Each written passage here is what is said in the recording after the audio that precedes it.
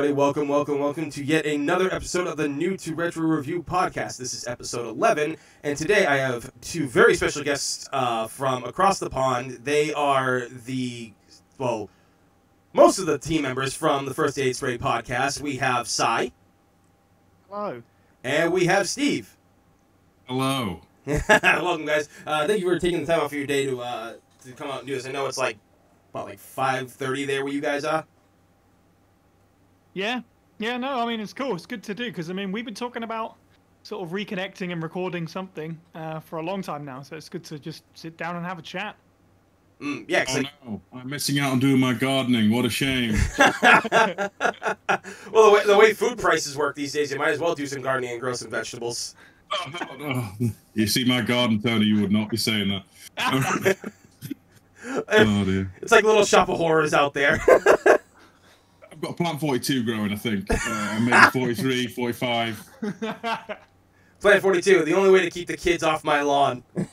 Exactly. Get off Little my bear. lawn. oh my god. This is off to a great start already.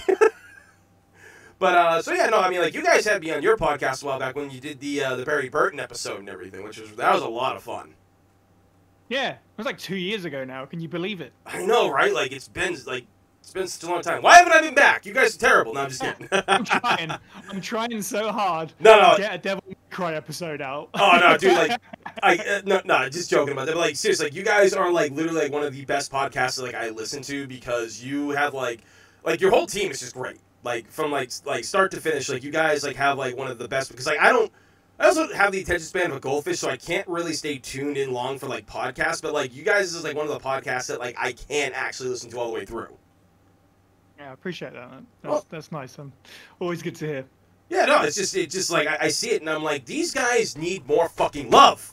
Everything, okay? Like these guys are like out here and they are pumping out like hit after hit, like they're doing like you guys do great stuff.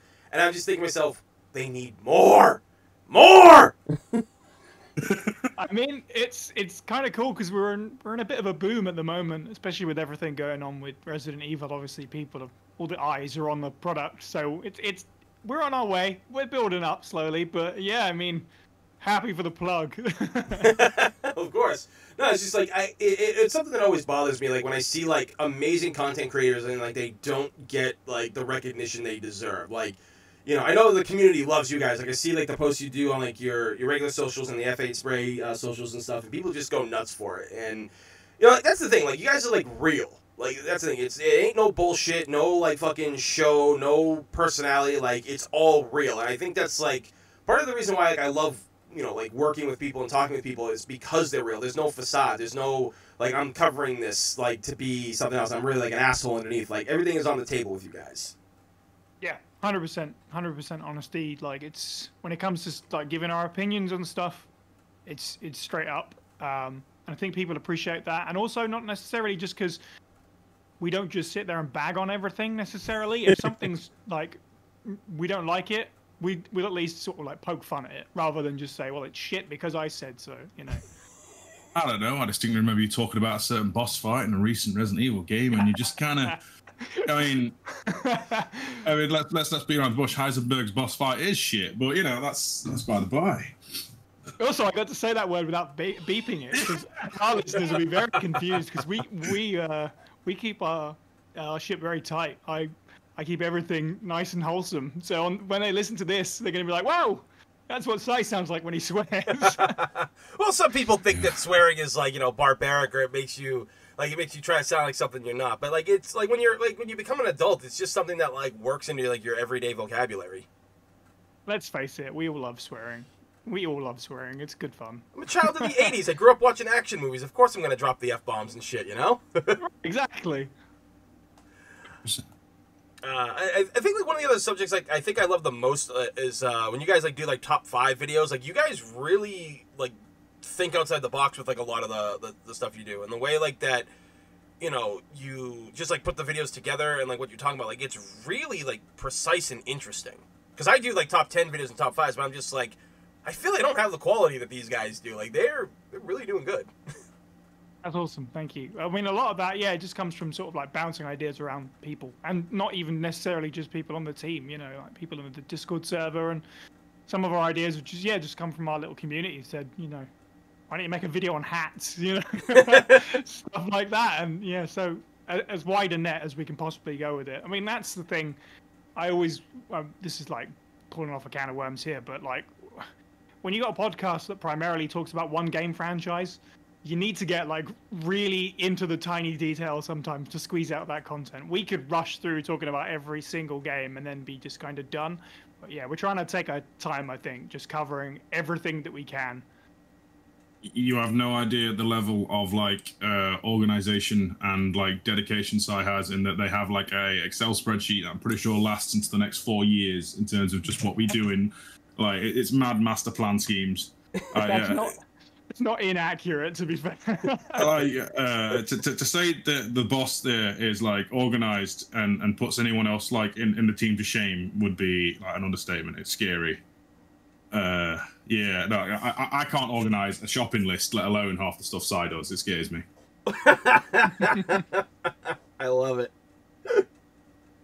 Oh my god, that, that's great. But yeah, like I mean, like you know, like your, your videos and stuff like that. You know, like I remember like you, you did like a, I think it was like a month or so ago. Like you did like five loose like Resident Evil story threads that need to be tied yeah. up or whatever. Like I was just like, it's like yeah, like no one's talking about that. Well, I mean, people talk about, it, but I was like, I haven't seen videos on something like that yet. Like this was mm-hmm. plus like you know you branched out. Like you did like a like a Dawn of the Dead uh like one that I I really like that one because I love both the original and the and the remake from Zack Snyder, which I don't say that much about Zack Snyder's movies because he's a fucking whack job, but.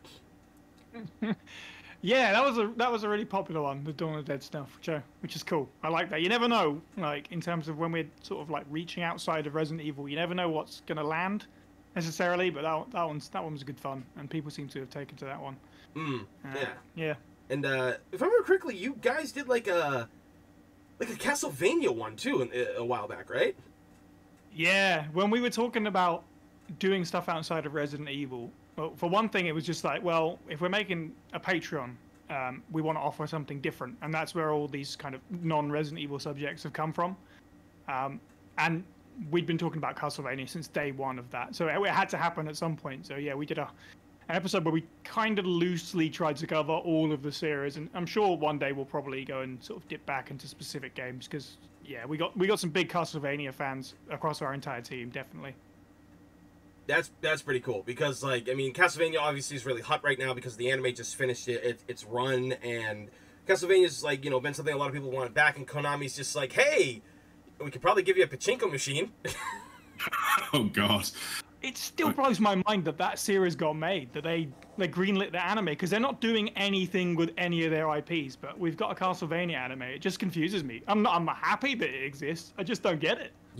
Yeah, right? Like that was something that I like. I think blew everybody's mind when we first heard Castlevania anime coming to Netflix, and we were like, "Whoa!" Right. and then it happened for like, like I say, four seasons. It's gone on so so far. Like that's crazy. Yeah. Yeah, and isn't there like murmurs of them doing a movie or something? Am I right in thinking that? Like they want to do a spin-offs. I think like they want to like continue that world of Castlevania, but I guess like Trevor Alucard and uh, Sypha are like done as characters, but they want to like I... spin it off or something. I haven't quite finished the new season, but yeah, from what I understand, it's like, well, there's a lot of other Belmonts out there, so yeah, they should definitely do some other stuff, whether that's spin-offs or movies or whatever. Definitely. Yeah, I mean, People like, hungry for more. Yeah, I mean, like I say, like you know, don't milk something just to milk it and have it be crap. Because I think that's one of the reasons why. Again, I won't spoil because you, you, didn't finish it yet. But I think that's one of the reasons why Castlevania as an anime works so well is because the each season was pretty short, and mm they were able to keep it without dragging on. And they have, I mean, they bring in so much from all the games. That's the thing. Like, I remember like a constant criticism was of how it's not like the games, and I'm like, have any of you ever actually played a Castlevania game? Like, they're kind of all over the place, like lore wise and history wise. Yeah. Yeah. But uh, I mean, there's yeah. lots of sort of nods, and they do. I think what they do is basically do their own thing, like a horror story with Dracula, but they've made their own take on it by taking as much as they can in terms of like set dressing and character names and what they do for the actual show, and it works out beautifully. Way better than say, you know, the Resident Evil live action films. Um, no. Said the bad words. Uh, what live action films? Oh god! I just, oh, I just threw up my mouth. I gotta drink some more Gatorade. Oh god. Mm. Oh, I gotta watch where the Paul W. Anderson tastes. Oh God, tastes like shame. Ugh. um, God, I, I hate those movies so much. So like, uh, I guess um, you know, so we've talked about the channel, but like, how did you guys form? Like, how did you guys like meet up to like do this? Because that, that that's like always like an interesting story. I feel. Oh god. This is, Uh, yeah, this is a weird one. Steve, do you sort of remember? Because I'm. I- I do. I- I do. one, So Oh, okay, right. So, ancient history. Psy did a uh, YouTube series called Psy Reviews It, right? And they were doing Resident Evil games. Now, I have been known to be less than compassionate to Resident Evil Code Veronica, and I was on a kick. So I, I discovered them on the on the old YouTube, and I just reached out on Twitter. We must have been talking back and forth for a couple of months. And then RE2 gets announced, remake, and uh, I guess I with my bullshit for so long that yeah, let's do a let's do a recording, and I think that was like the germination, the first aid spray. Would you say, Psy? Like the the Yeah. pre.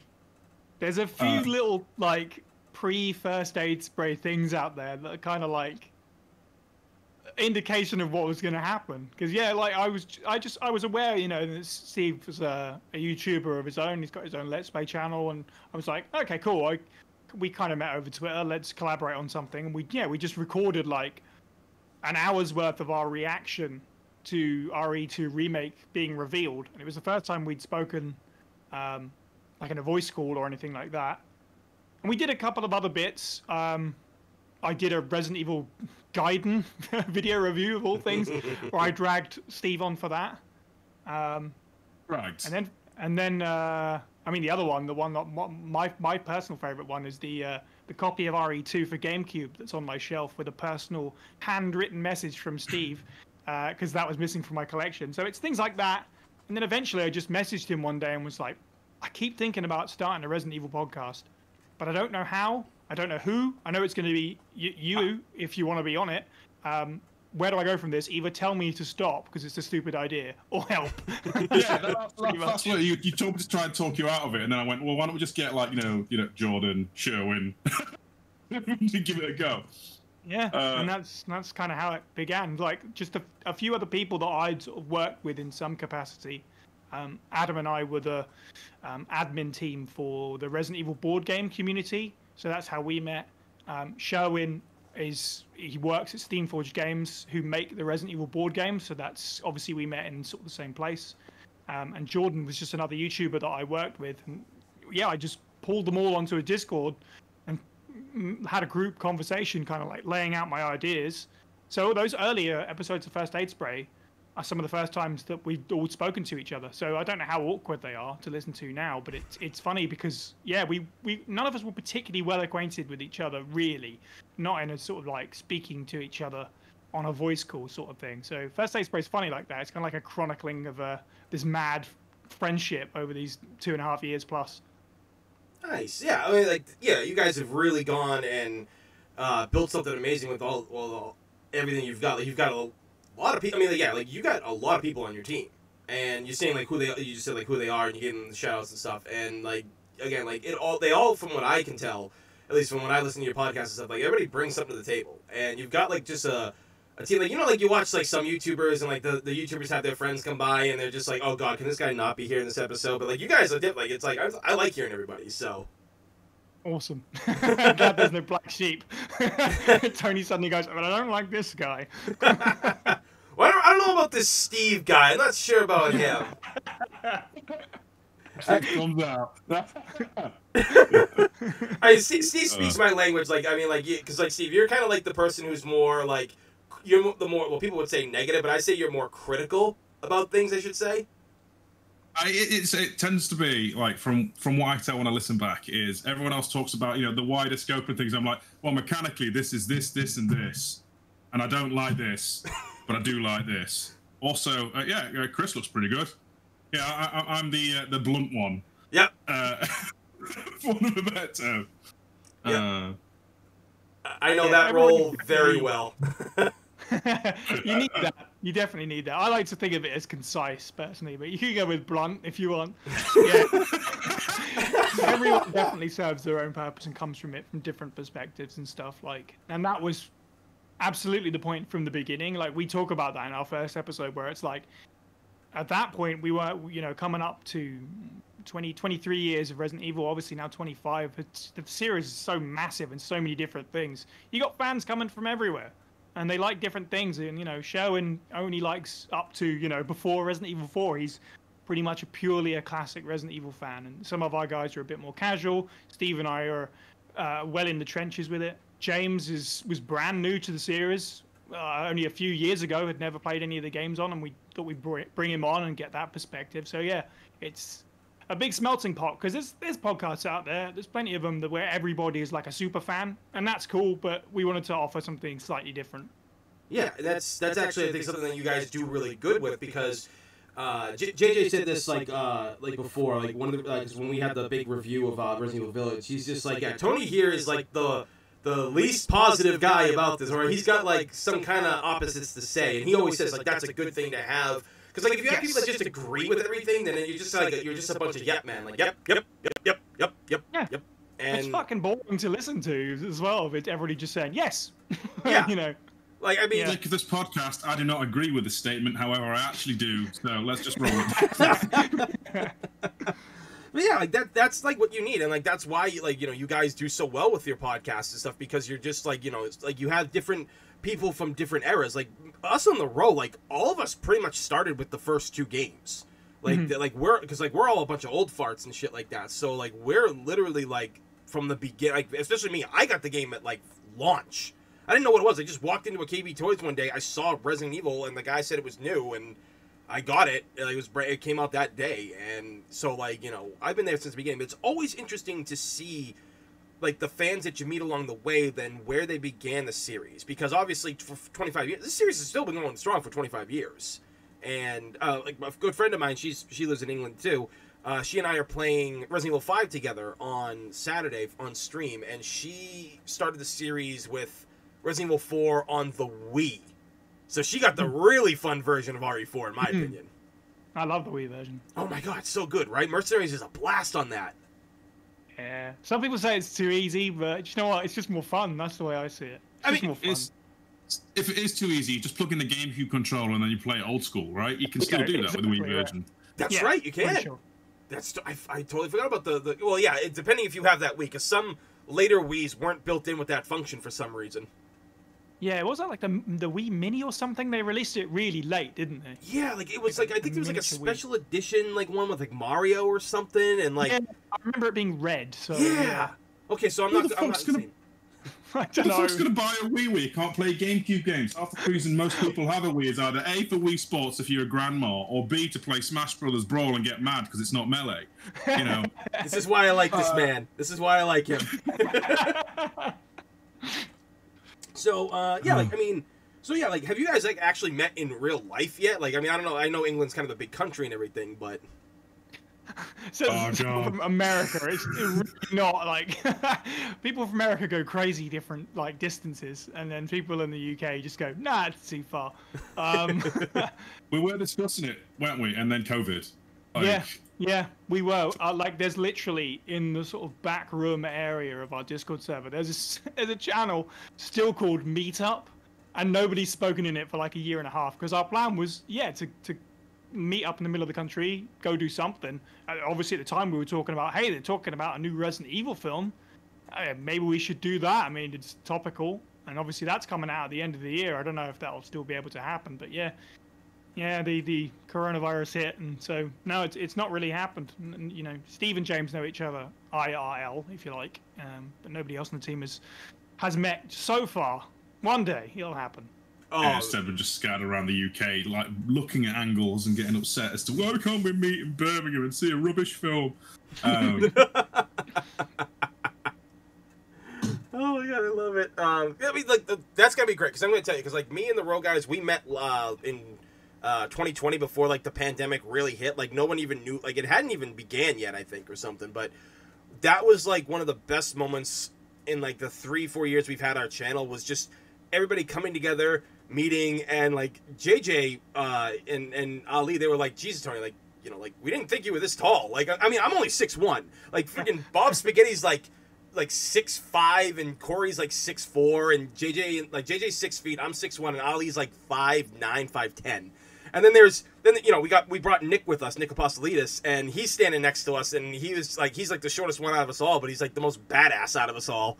Um, and uh, yeah, everyone's just like, yeah, like, I didn't think like Tony was that tall. And then I think I think it was Corey or Bob who said, yeah, I didn't know Tony had eyes because I wasn't wearing my sunglasses.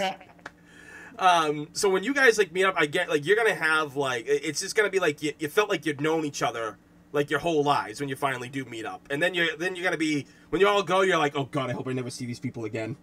It's It was probably like the line. ugly character. Uh, you know, with Dillon, you son of a bitch. um, yeah, there'll be a lot of that definitely. Yeah, I, I can't wait. Make sure to take pictures, man. I want to see that because like I know a lot of the fans would love to see that too. Hundred percent. Yeah, I mean, of course, I've seen the the row pictures of all you guys from that meetup, so I know exactly what you mean. And we'll, we'll yeah, we'll get very similar ones just as soon as we can. I think. Yeah, I mean like I with, don't know. I, I don't think we could beat Tony on a pulpit because that, that always looks cool. Oh, oh, that's right, the podium. Yeah, yeah, that was, uh, yeah, that was me, my bid for presidency. Uh, that was the it, like- kick for those that I love to. I was just like, don't worry, I'm going to take care of America by putting a foot in every ass. And it's like, yeah, Tony's the last person that should have access to nuclear weapons. I was like, oh yeah, I would snap like 18 times a day. but uh, yeah, so I guess um, I guess we should talk about like some of like you know like you guys' uh favorite Resident Evil games because again, this is like uh, uh, you guys are a Resident Evil podcast and and all. What are some of your favorite games? Like, what was the like? What was the ones you actually started with? Like, what's what got you guys into it? Steve, I'm going to give, give this to you to start. Oh, with. all right, okay. All right. I, I started. Uh, right. So it's. I don't know if it's launch year. It must be around that time. My brother has just got on a PlayStation, right? And we only have Ridge Racer and like Tekken. Uh, so we. So we go to a rental shop, and these these rental shops they didn't have the actual game case, it's just the discs in like clear cases. We see the original Resident Evil disc, which is like just a fucking eye with the text like, "Who the fuck is that, Stephen?" I don't know. Let's give it a go. Uh, and then, needless to say, uh, we spent the entirety of the weekend going through that game. I can't even remember if we beat it initially, but it was a rental. And the yes, the dog corridor did have an effect. It did launch coffee up my brother's freshly plastered wall, so he had to completely redo his wall. It was, it was kind of funny, fun times. um, as for my favorite, like when I, I think the first Resident Evil I bought was Director's Cut, like as in me for, for me to own. But I'm pretty sure it's RE2 because it's the only one I keep going back to year after year after year after year. You know, I know it's just something about that game. There's something about that game that's just fantastic. It's like for me, it's the aliens of video games. I know it's a cliche to say, but everyone wants Citizen Kane now, mate. Give me, you know, Leon going through the streets, getting beaten up by William Birkin with his giant metal pipe and eyeball, shoulder, and claws any day of the week. It's fantastic. They, they really did do a lot with that game to like in terms of its like its advertisement and its uh just pretty much like if the original Resident Evil was considered a 10 like RE2 is considered like a friggin' 12 by people because like it took everything you loved about the original and improved upon it. Oh man, yeah, I remember the lead up to it, and like even in the UK, we had like gaming magazines, like wall to wall. You would see nothing but that one picture of like it's. I think it's on the back of the old case, so it's a zombie in a body bag. Or Oh my god, that really creepy one. Yeah. Yeah, and and that was friggin' like on like loads of magazine covers, and then you got like you know your weird comic book art versions of Leon and Claire, and and it's just like hype was high. Like even I was like when I went into my local supermarket with mum, and I'm pretty sure this must have been launch day, and I just went, Mum, can I have that? It's a 15, Stephen. It's not scary, I promise. Uh, and then yeah, history was made.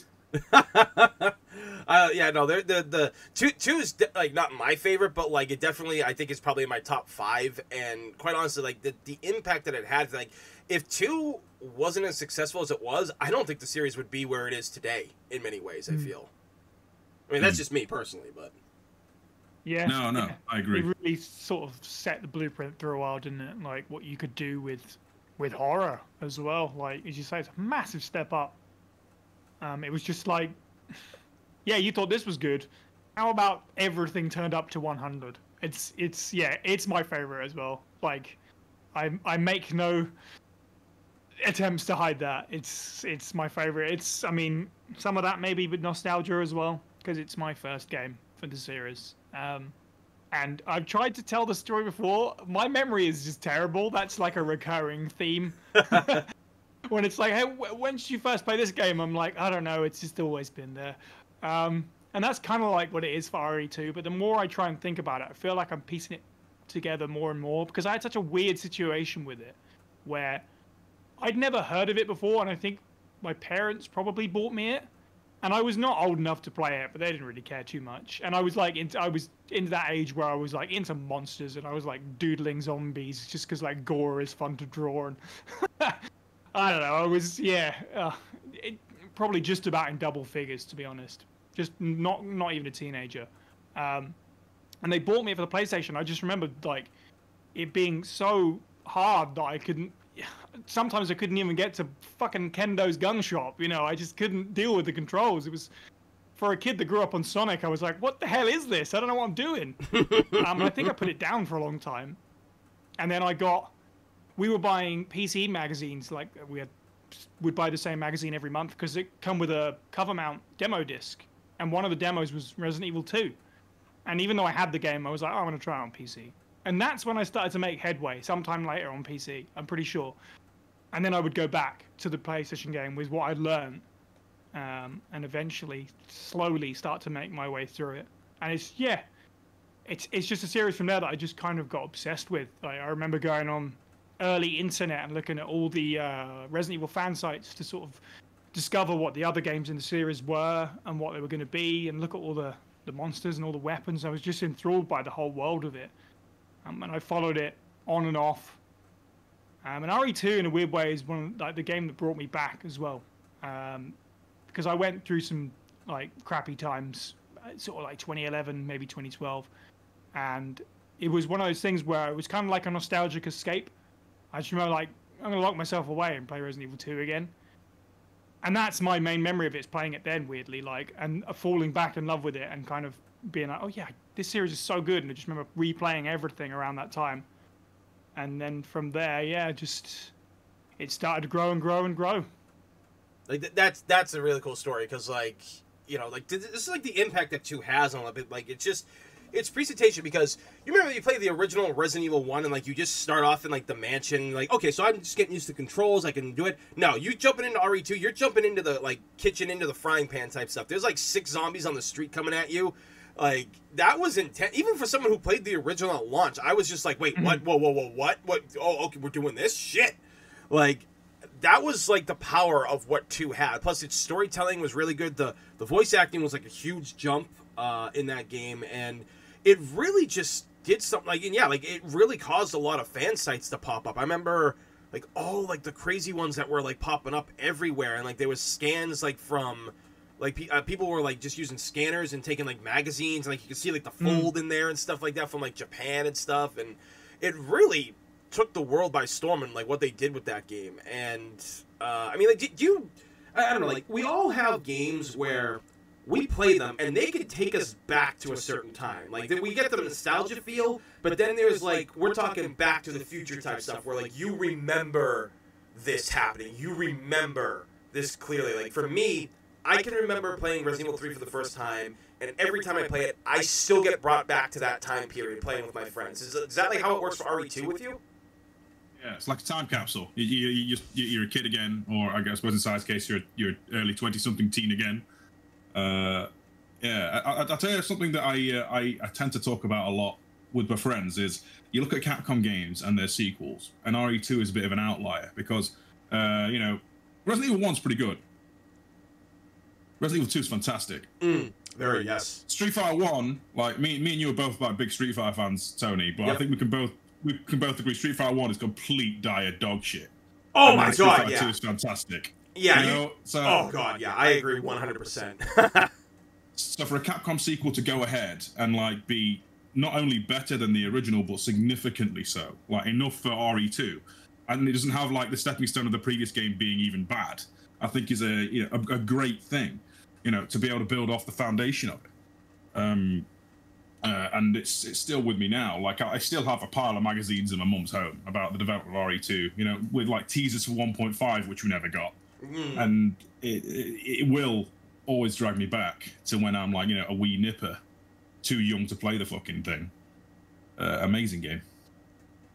really is like it just It- just it- does so much.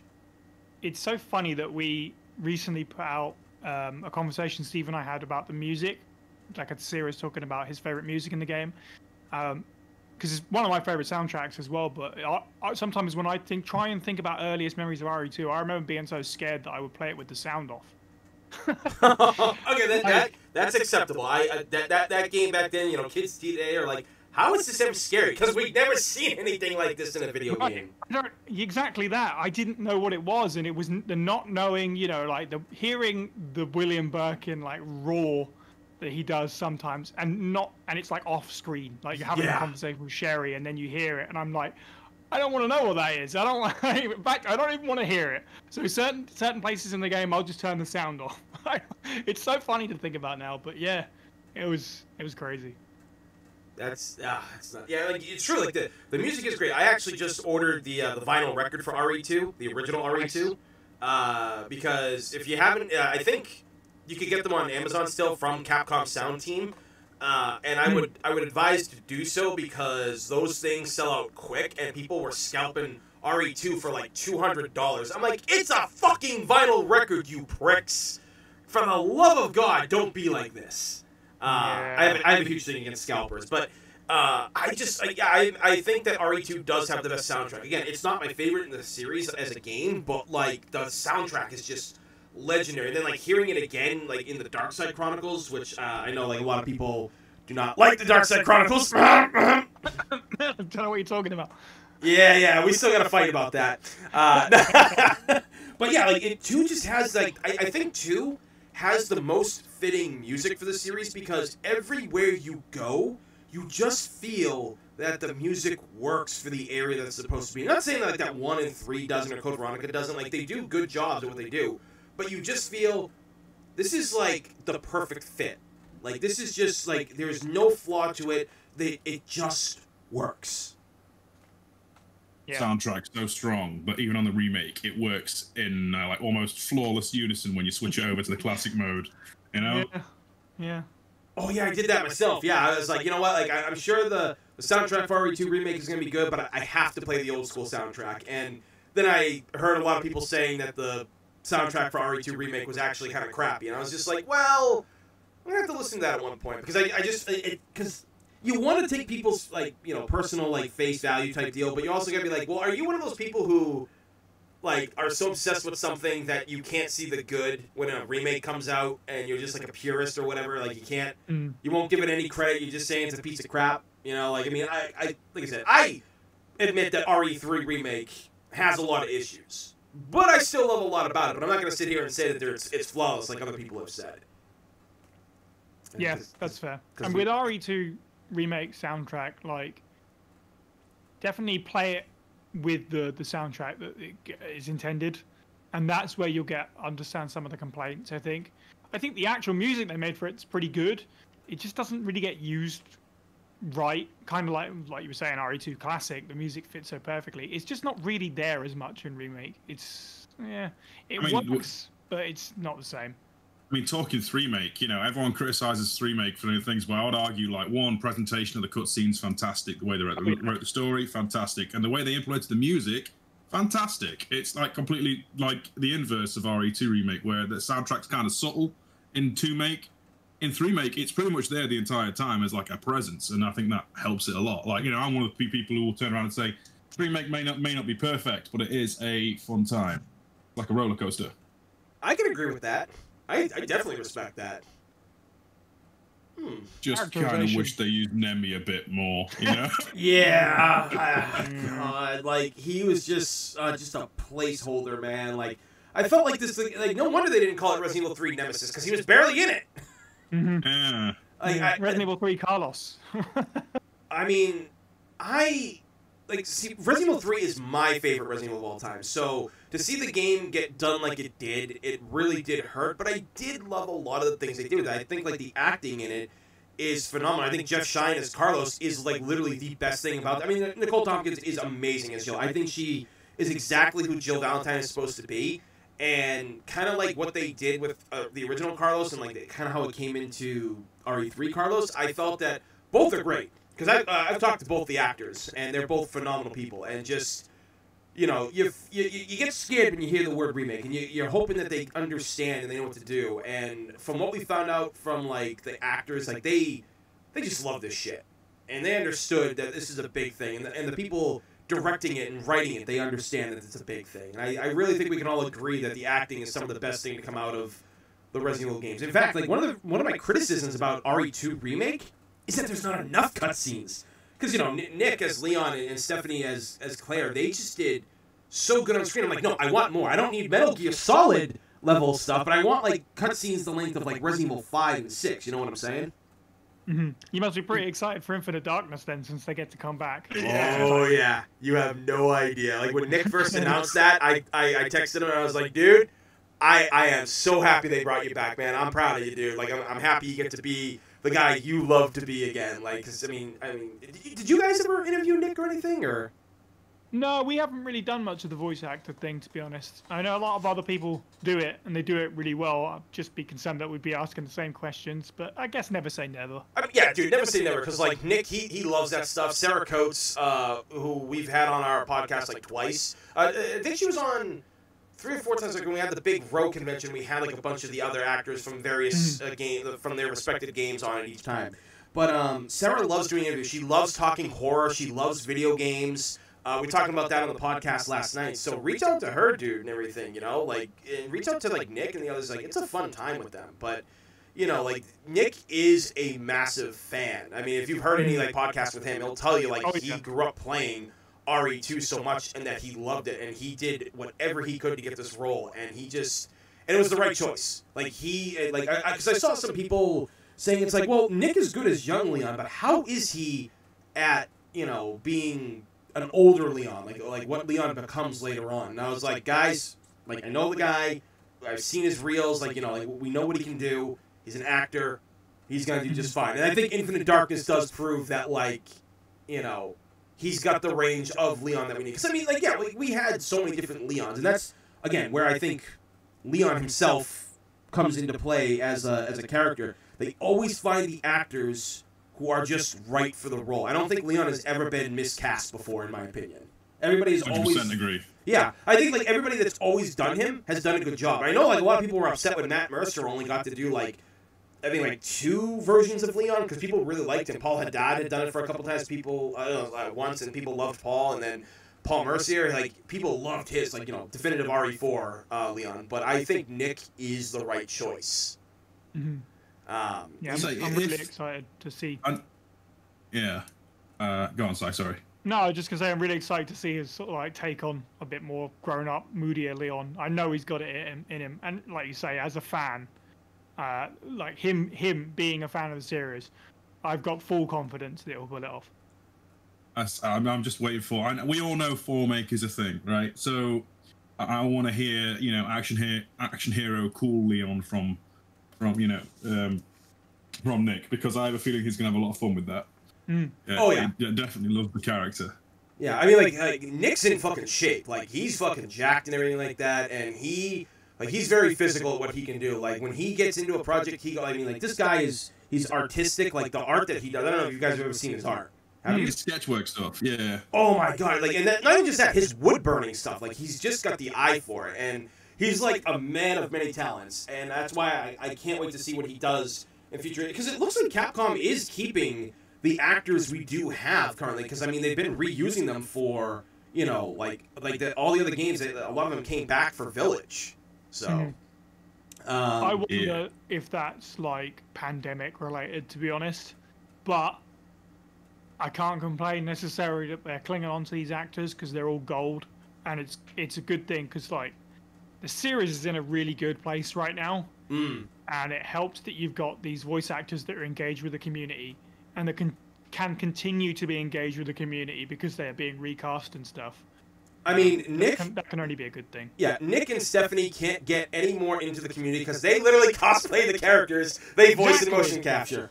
I love that. Like that. That was just like when, like when you know, like when Nick was saying he was making his own like Leon uh, outfit, and there was a it was a photo of him like making the knife, and I, I I was just like I texted him I was like Nick that that picture of you making the knife That's like straight out of Rambo. That was awesome. He's like, actually, that was my uh, that's my inspiration for the photo. I'm like, fucking right, man. Let's go.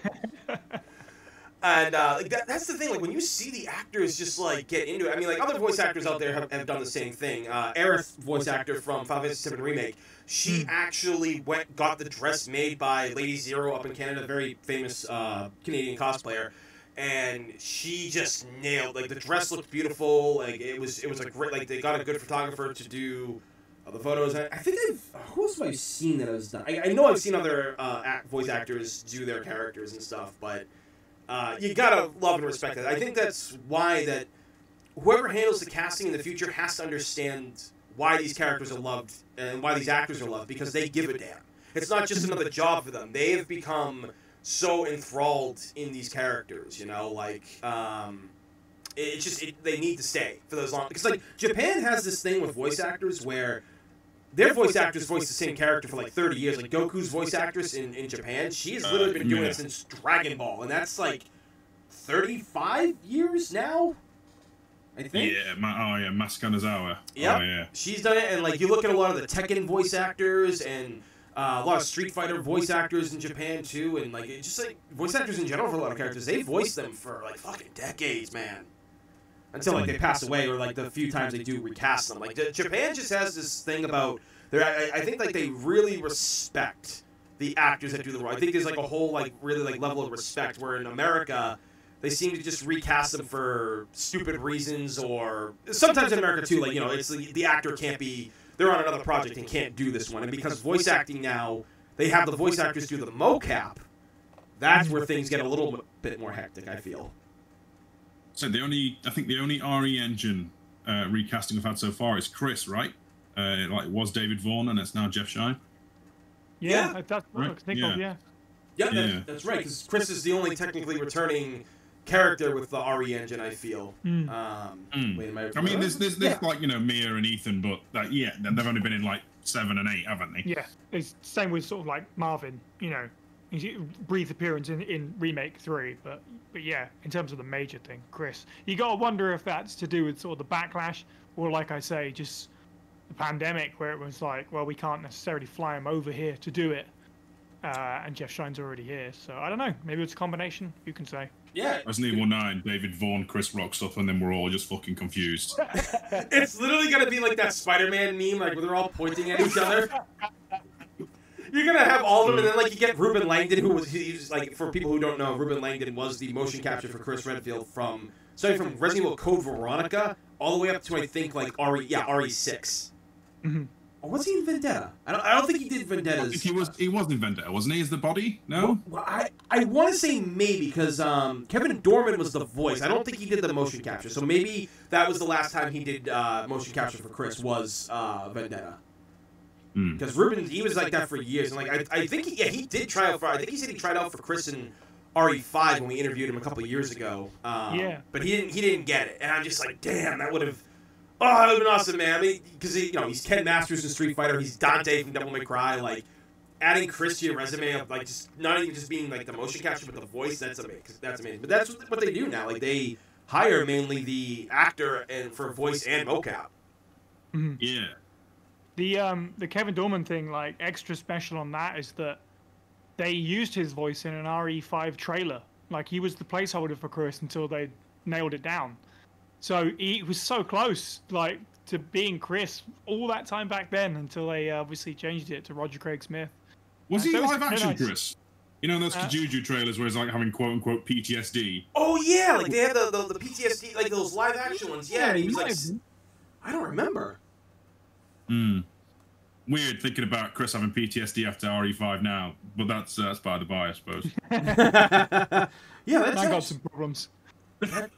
That's actually uh, that's actually a fucking damn good question. Now, now I, I gotta look that up later because I gotta figure that out. But yeah, I, I did forget that he was um, uh, what do you call it there? Like they did use him as the placeholder in the original because like he had a because everybody thought like that was like Billy at first until it said like Chris Redfield on the screen. So everyone's like, oh okay, here, this is we're, we're doing this then.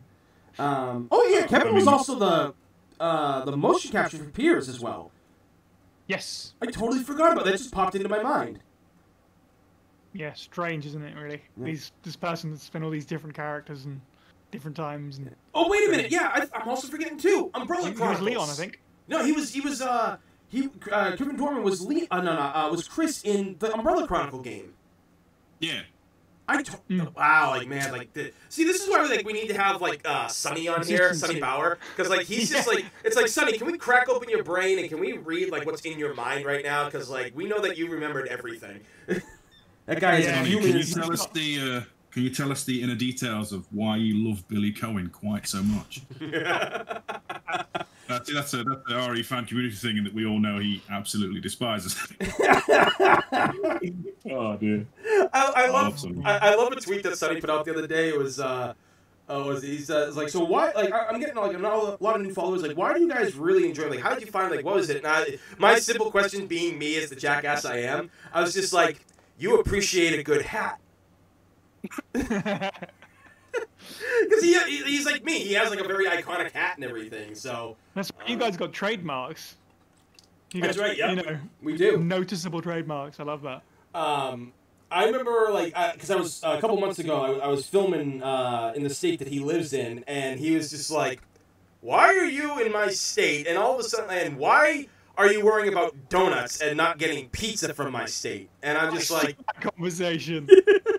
I was like, "Look, man, I had to get up at friggin' three o'clock in the morning to film for like 14 hours. I just wanted a goddamn lemon donut, and for some reason, Jersey doesn't want me to have a goddamn lemon donut because the lemon donut they did give me was fucking cream filled, and I almost gagged on that shit. And then I, I took his advice and I went and got pizza after filming for like 14 hours. Which he was right, it was good. It was good. Next time I'm over Obviously East not. Coast, I'll uh, I need to hook up with both you. Say hi. I mean, like, It's one day that'll happen. we're not like tech. I think like we're like five hours like from each other. or anything. Um, so technically not that too far. And like, if you want to like go to a place where like really good pizza, like we could probably all meet in New York City because you know Josh the medic, he lives there as well. Right. Well, I mean, yeah. If anyone says you should maybe go to New York City, I'm going to jump on that because uh, everybody knows full well how much I enjoyed it the first time I was there. I mean, I'd fucking live there if I could. So, Yeah, but nobody can afford that. no, God no. I mean, you're gonna you're gonna be paying like you know six thousand dollars a month for a one bedroom apartment, and then that's it. Like your bedroom is the apartment. I Yeah, so what I'm saying is, if people want to make my dreams come true, the Patreon for First Aid Spray is. I mean, fuck, I, I donate money to that to get you guys in. Because, uh, like, I mean, like, New York does have, like, a huge, like, group of, like, Resident Evil, like, people, like I said, Josh the Medic's there, and I love that goofy motherfucker. Like, I torment the hell out of him. Like, uh, when I was in New York, uh, uh, like, a couple weeks ago, doing photos, I messaged him, and I was like, yeah, dude, uh, I'm in New York City. Come get me. I'm scared. Come pick me up. and, he's, and he's like, oh, my God, Tony, like, you know that I'm in Salem right now. Like I can't, and I'm just like, yeah, you go to my state when I'm not there, and I go to your state when you're not here. You're a bitch. And he's like, oh my god, Tony, I love you so much. Stop. No, but I, I, I I do love seeing the the friendships of the RE community. When you follow the right people, you get to see all these kind of crazy interactions. I love it. oh my god, dude, like when, uh, like eh, when I was in Anime New York 2019, like he was, uh, he was, he, no, he wasn't going to the con that year because he had, uh, so, like, uh, someone from out of town was coming. I can't remember who he was saying, but it was, I was just like, oh. Oh yeah, I see someone coming from out of town. You forget your friends. That's how it is, huh? Yeah, okay, yeah. I see. Yeah, but he was actually near where my hotel was, so he couldn't find the hotel because the hotel's like in this weird area in like Midtown. So I see him out in the street. I'm there, so I'm like starting to like creep up on him and shit like that, and I just shoulder check him into Seventh Avenue. Uh, like I, I, I abuse that motherfucker so much, and he loves it.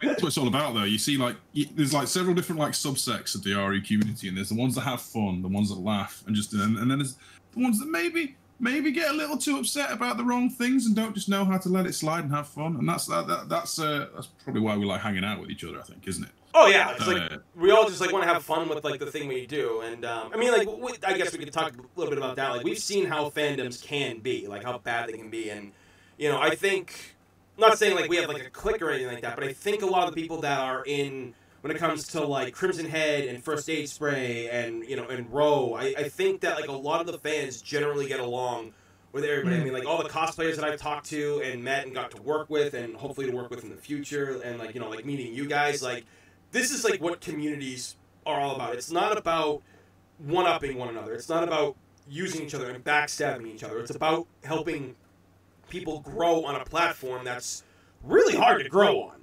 Or anything. You know, Yeah. that's like why I love connecting with the community because everybody's just so great. You know, like I don't care about popular. This is why I'm not more popular in the cosplay world for community because I don't kiss ass and shit. I'm just like, I don't care if you got five followers or five hundred thousand. You need photos. I'm gonna do photos for you. I don't care how famous you are or how how you're not. You need photos. You come to me, and that's I guess like another thing people really like me for is that I'm very blunt. Mm-hmm.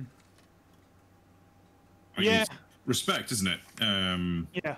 in a, in a general, you just you, you got to be respectful to each other. You can all have fun, have a laugh, know each other's boundaries, and don't take the piss. Like, uh, I don't know. It's just sometimes these days, some people pick fights, and it really gets on my nerves. oh yeah. Usually it was stupid shit.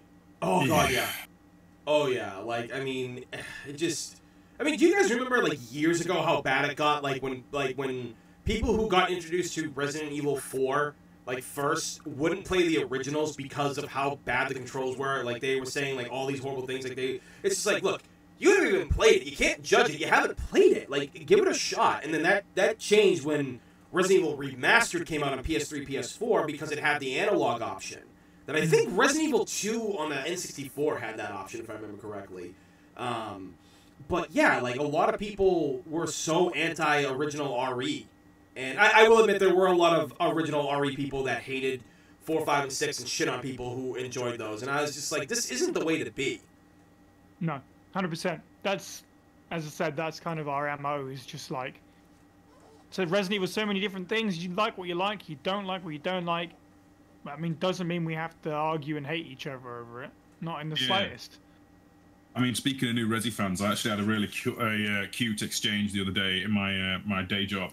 Oh, So obviously, Village had just come out, right? Um, and they started with the Resident Evil Seven, and they and I, uh, I shit you not. The, the question was, Steve, I, I know you do this Resident Evil podcast thing.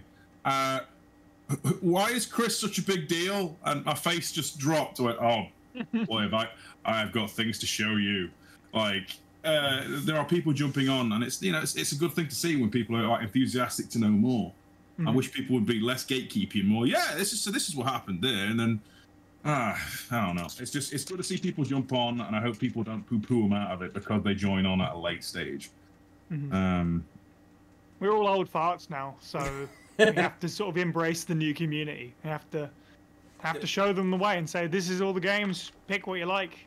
Try this. Try that." You know, it's, it's what it's all about. And we've we've constantly seen new people coming in, and people sort of who have been fans for a long time who feel more comfortable being a part of the community now than they would have been years ago, because it seems to have lightened up a little bit. Like oh yeah, exactly. specifically like there was a conversation not too long ago about how there's more women in the community now than there has been before because they feel more comfortable with it um, which is good obviously i don't know what the problem was before but i'm glad whatever it was seems to have been resolved and i'm glad to see such a diverse set of people all resident evil fans Yeah, exactly. Like you know, the when you really look at how Resident Evil has evolved, we are technically now even because of how gaming has evolved. Because like when when Resident Evil came out, gaming was kind of one of those things that you you didn't really tell people, or if you did, people were like, "Oh, you play video games." But now it's like the biggest form of entertainment on the planet, and you know there's a specific moment that always comes to mind for me oh, not to cut you off no, no, go for it, dude. I remember, and I'm sure 99% of people out there listening to this can relate to this.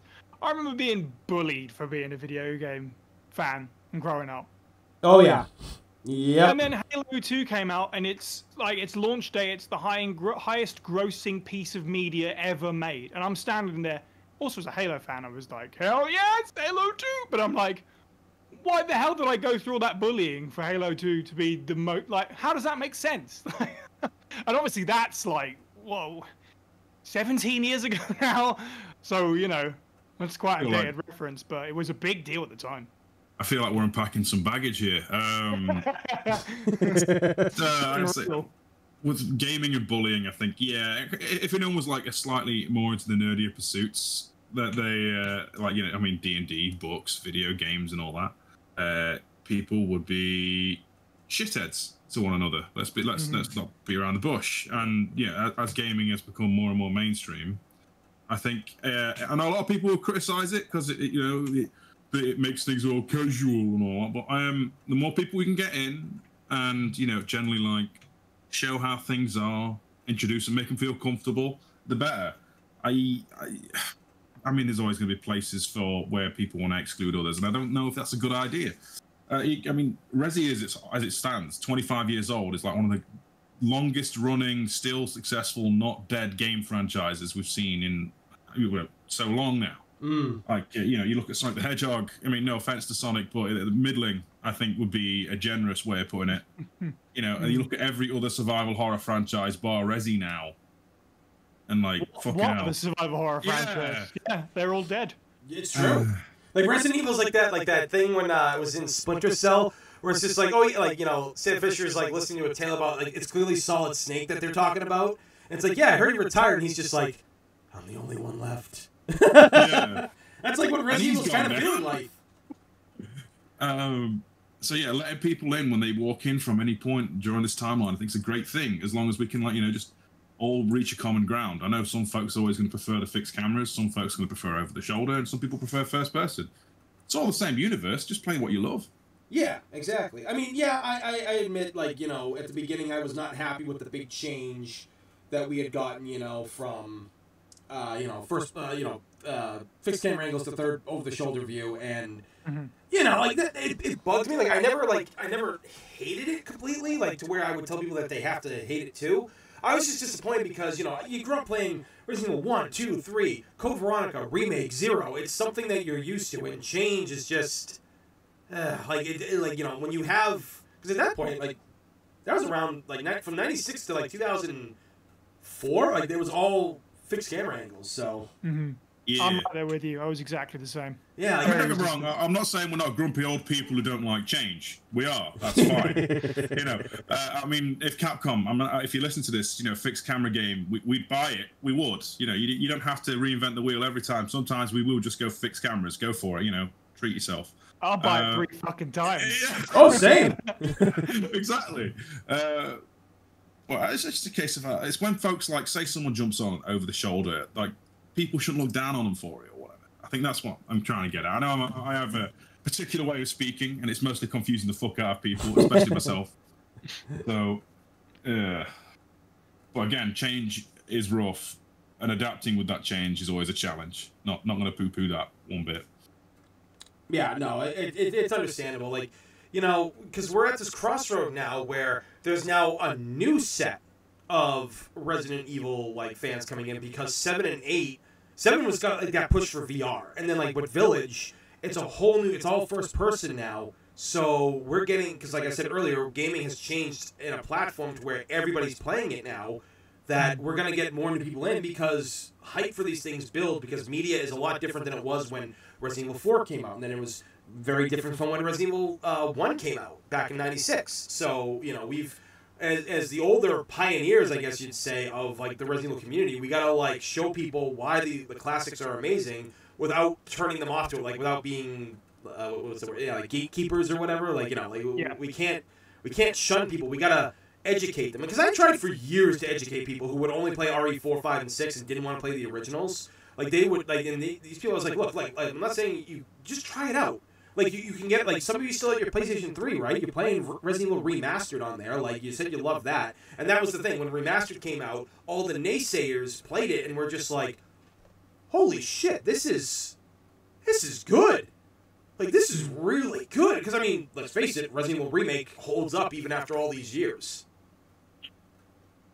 I think isn't it because that sold so well, it kind of pushed remake two in the direction. I mean, obviously remake two isn't fixed camera, but it's the reason. Oh wait, they actually do like the remakes. 'Cause I think I, GameCube didn't sell well, did it? If I remember right, GameCube RE1 uh, did not sell. I mean, we all know it's a great game. Oh yeah, Oh. yeah. Uh, no, um, the GameCube unfortunately was like Nintendo's like a, another like step in their downfall at the time. Uh, the N64, as much as I love the N64, that was in trouble for the long time that it was around. Like people don't understand that.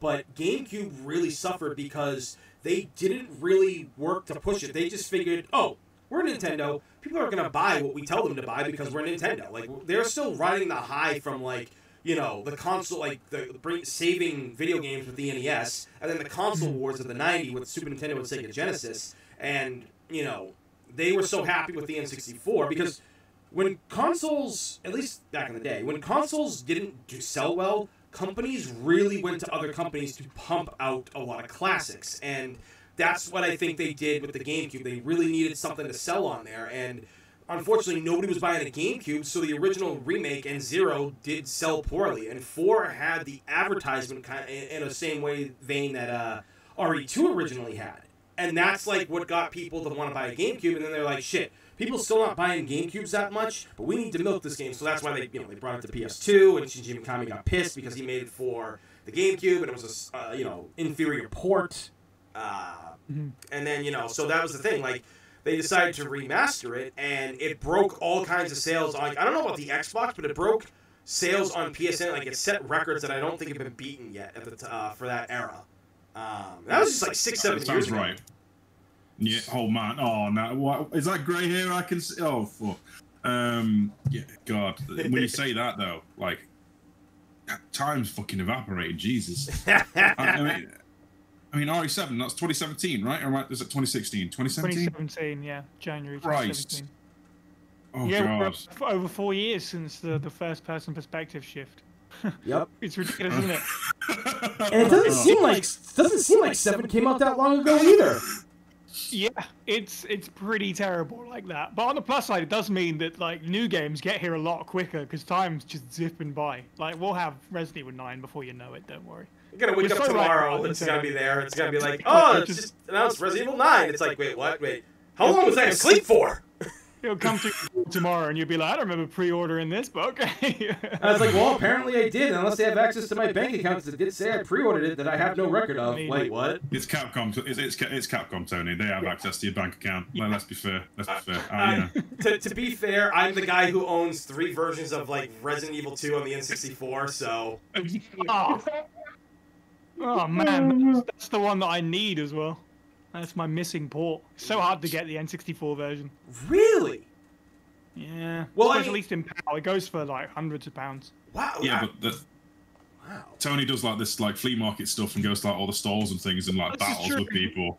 Yeah, this is true. I Well, I mean, yeah, like I mean, I've been doing, I've been collecting video games for ever since I was a little kid. Like I just would buy the games, I would never trade anything And I did trade some away that I do have like regrets. I'll probably do a top five video on that at one point. But Hmm. um, Resident Evil 2, I did get on the N64 years and years and years ago. I did get it then, and I was so happy to get it because I had rented it and it was really fun. And then I eventually bought it, and then uh, I wanted to get. Uh, what was it? I, I uh, no, sorry, that one was stolen from me. That was one of the games that got stolen from me. I forgot. Because like when you let people borrow things, they say, "Oh, I returned it." No, you fucking didn't. Um, and what happened was I was up late. I was like, it's four o'clock in the morning. I wasn't sleeping, and I saw Resident Evil Two on uh, eBay and Amazon. So I'm like, okay, you know what? I'm gonna buy one of these. So I bought one. I went downstairs, uh, got got some water, came back upstairs, and was uh, working on photos for the rest of the night. And the next, like, couple days go by, and Resident Evil 2 for the for the N64 comes to my house from eBay, and I was like, oh, cool. And then the next day, all of a sudden, there's another package, and I'm like, what? It's from Amazon. And I'm like, why do I have another Resident Evil 2? I'm like, oh, son of a bitch. Like, it's slowly done on me. I was so tired, I forgot I pre-ordered, I, I not pre-ordered, I bought the first RE2 on N64 on eBay, and I bought the other one on Amazon when I came back up from getting one. I was so tired, I didn't realize what I had done. And Oh, you know, yeah, I'll, I'll buy one off you. I mean, I'm, I'm, I mean, I don't know if it'll work, but I mean, I, I can probably send you one because here's here's the funny part. This is where the whole like story comes full circle. Buddy of mine is like, he calls me. He's like, "Yeah, Tony, I'm down at the toy vault. They got Resident Evil 2 here on the N64. Do you need that?" And I was like, "Yeah, sure, I'll, I'll take that." It, was- it was like it was like 15 bucks then. It was like 20 on eBay and like I think like Amazon was selling for like 11 or something. So I don't know what they're going for now because I don't know if you guys know, but in America, Resident Evil games are stupid expensive right now. Yeah, I don't think it's really any different here in terms of like the the classics. Like if you wanted to buy them in good condition, some of them I imagine are quite hard to find now. Oh yeah, like I was. I mean, I I just when I went to New York to do photos, I stopped at a retro game store that my friends talked about, and I bought Castlevania Symphony of the Night for 150 bucks. Um, Jeez. Well- Well, yeah, no, I don't know Yeah. that pain. I, I, I had to Yeah. because that thing's gonna go up in price. It's been jumping in price, and uh, I saw Resident Evil Survivor in the glass case for ninety dollars. Survivor people. Yeah, Like- I mean, that, that- again, that doesn't surprise me because like God. Survivor, you can't play that anywhere else Yeah, except that's like- PS1. So Yeah, but that's like the American version, so you can't even use a fucking light gun with it. No, you It's can't. not even got a point, has it? that's Like- true. God. Yeah, you know, you you cannot unfortunately play the light like like the light gun version. And my plan is at one point because I still have a TV like the old CRT TVs that can use light guns. I'm literally going to get like a PAL or a Japanese PS1 because I have a gun for it and the gun will work. and I'm just gonna get a Japanese version or whatever version so I can play it. Because like the reason why we can't play it was because I think when that game came out, it was shortly after the big school shooting that we had, like the Columbine shooting. So like Mhm. that was like a big no-no in video games was like guns and violence. So that was like a huge censorship thing. But yeah, like these these games are getting super expensive. Like Resident Evil Two, I saw at that store for like seventy bucks, and I'm like, Jesus. Then like I looked online, I was like, oh, oh, oh, oh. Yeah. So I just checked uh, eBay in the US, and just the cartridge for Resident Evil 2 N64 is generally going for about 40, 45 bucks. A little bit more just for the cartridge. Um, somebody sold a boxed, uh, great shape, but it doesn't say that it's complete. I don't think it has the manual. That was $120 without the without the manual. So, yeah, Now. Yeah. Hmm. I mean, I'm looking at one right now. Uh, it's 160, complete in box. Uh, the box is pretty warm, but not like like terrible. Like it still closes and everything, and it still holds up. Oh wow, it's got the inserts. Um, I actually kind of want to buy this right now. This is dangerous. I'll have four versions now. Fuck yeah. oh no, this is legit. Like he took it apart. He's showing everything. You know, I'm saving this. You're welcome. I oh, think for me, just I'll track down a cartridge and then I'll just get somebody to reproduce a box for me. I'm not I'm not paying out too much. it's Actually- just to go on the shelf with all the rest of them. To be honest, I, I- just want it. I mean, dude, if it's not too expensive, like I'll I'll give you one of my versions. Like I said, I got three of them. So like. It won't work in my 64, but I mean, fuck All right, it, all right. Well, yeah. I mean, if you can't find one for a good price in your country and stuff like that, let me know. I'll send you one of mine. All right, Um, I'll let you know. because uh, the three that I have are in really good shape. And yeah, like in, uh, from what I noticed recently, reproduction boxes coming out of your country uh, on Etsy, they're not too expensive. I mean, like uh, because I think the shipping hits me a little bit for a little bit more. But, but the boxes are really good. Like I've got a Resident Evil 2 box. I've got a Pocky and Rocky. I've got Killer Instinct. Uh, you know, I've been buying a lot of them, and like I remember Nintendo was trying to shut them down.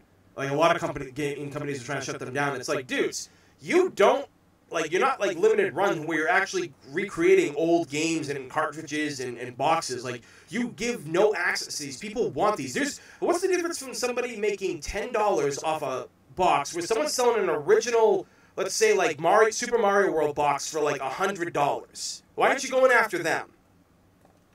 Yeah, it's so true. It's especially with It's, like it's another it's another question for the game preservation argument, though, isn't it? I mean, fucking hell, Mm. well, that's a, Mm. it's a nightmare as it is what we live in. Oh, where God, yeah. backwards compatibility is like the the bare minimum. We're not even getting that.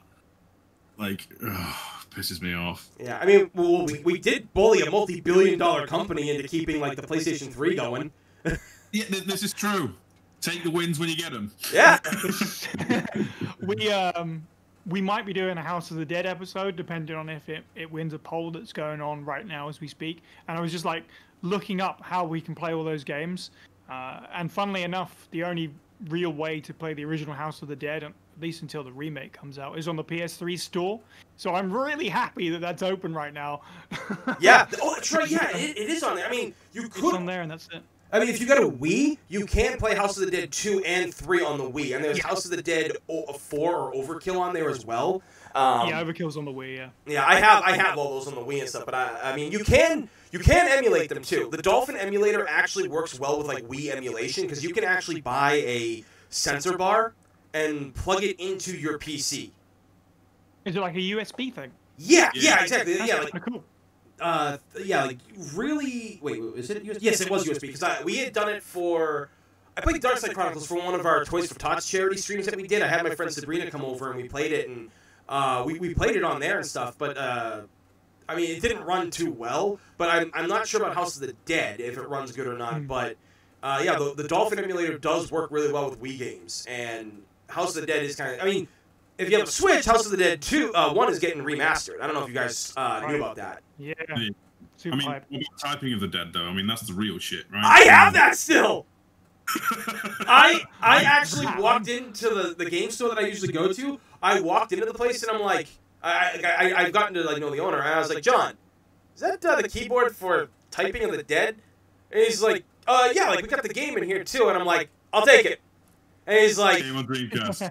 Yep, I, I still have it on. I still have my Dreamcast. Like I could probably actually. What I'm thinking about now? Because there is. I, I don't know if like you guys know this, but there is an emulator called Redream, like R E Dream, and if you pay like a one-time fee of five bucks, you can play. Now you can play Dreamcast games as you normally played them back in the day, but if you pay the five dollars. You get a graphical upgrade to them. They're they're smoother out. They're more crisp. They're clear. There's no fuzziness. You know, these things are like crystal clear games. I was playing things like Power Stone and House of the Dead on there, and I couldn't believe how beautiful these games looked.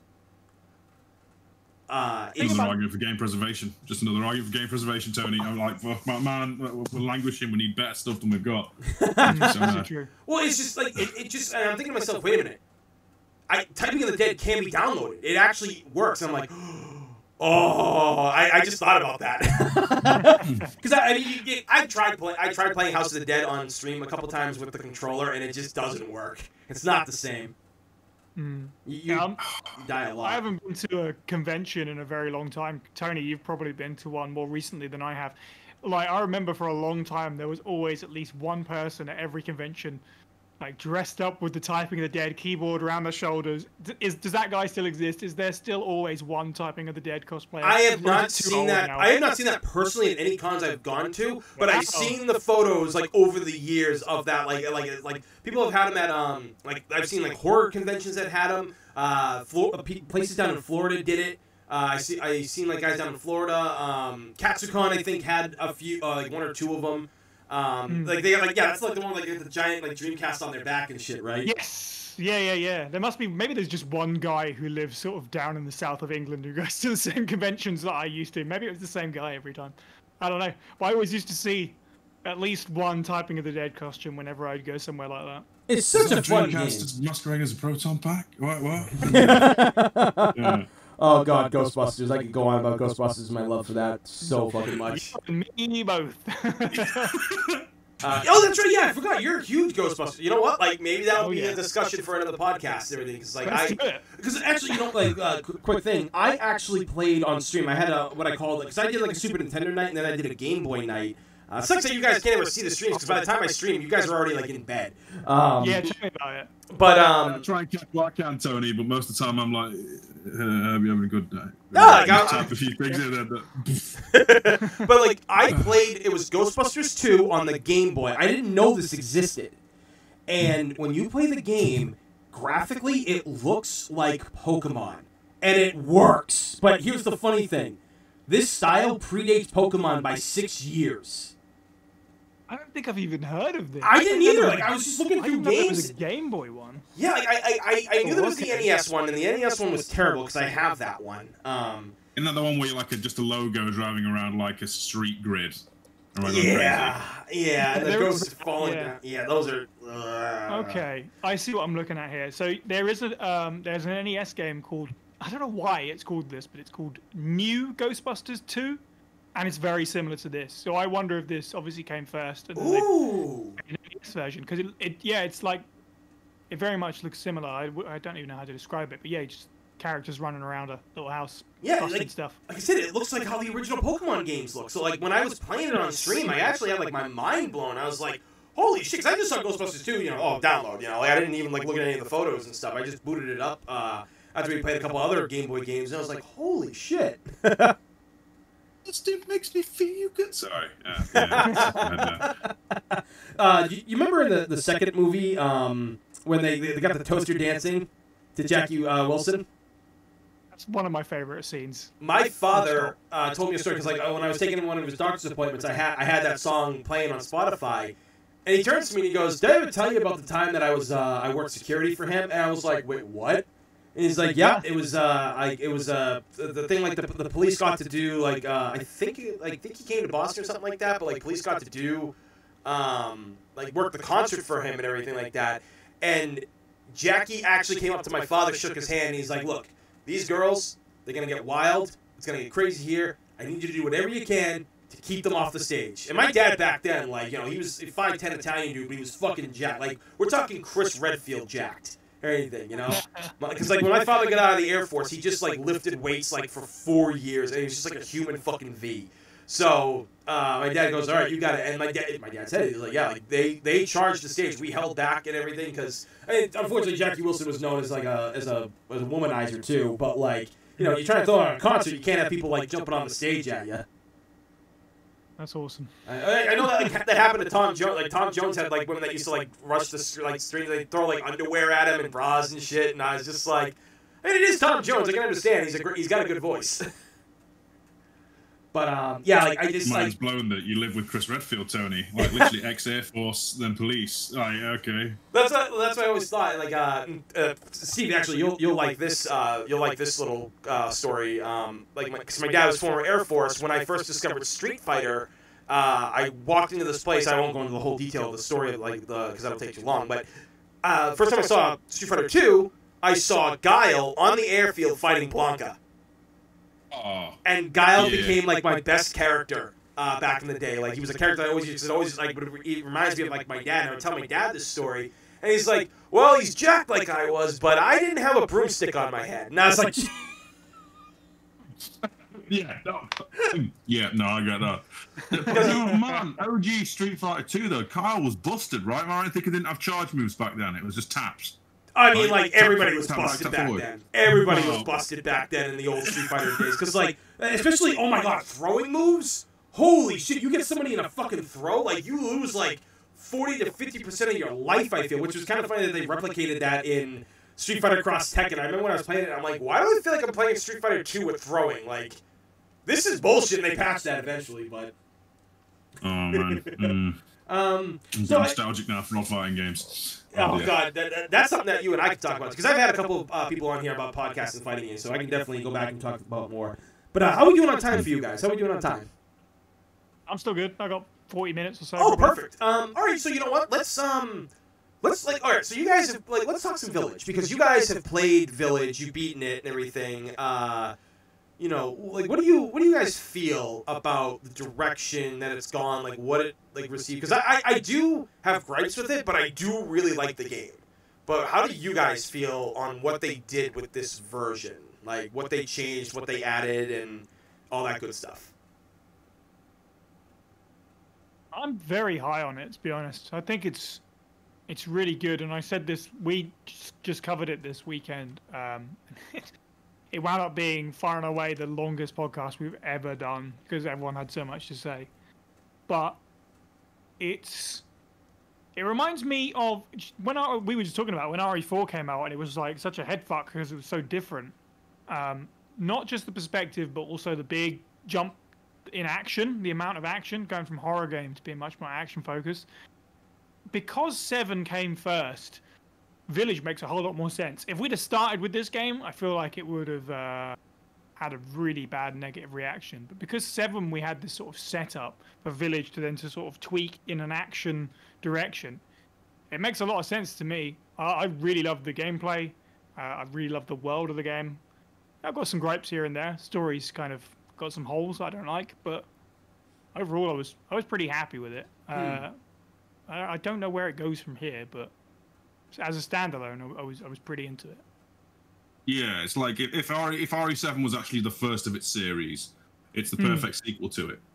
But um, I think that there's mechanical shit that pisses me off, like the way the guns work. I, I, I talk about this in the podcast, but basically the way the guns work in villages, you get the next gun along, just immediately switch to that and up its capacity, and it already outclasses the other gun in every capacity, making it completely like half the magic for me for RE4 and those action games is each weapon has some kind of unique selling point to it.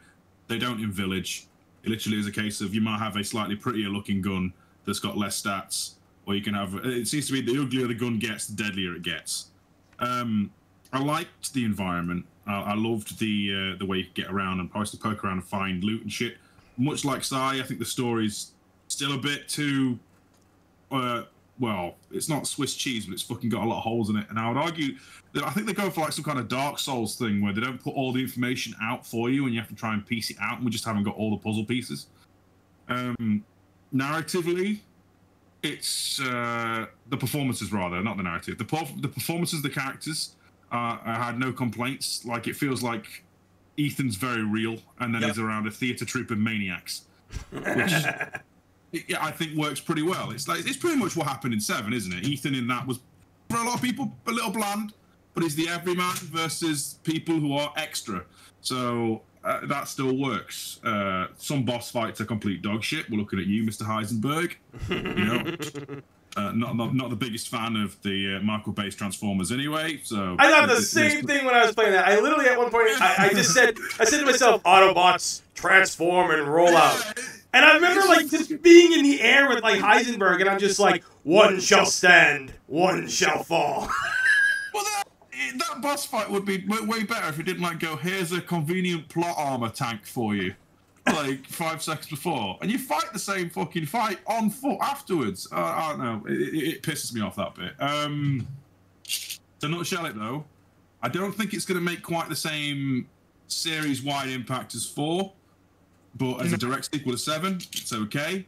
Uh, don't know if I think it's stronger than seven for me personally uh, I would argue RE2 remake out of the recent uh, you know batch of RE Engine games. I think two make is still probably probably still up there for me. Um, I, but that doesn't mean that Village is bad by any stretch of the imagination.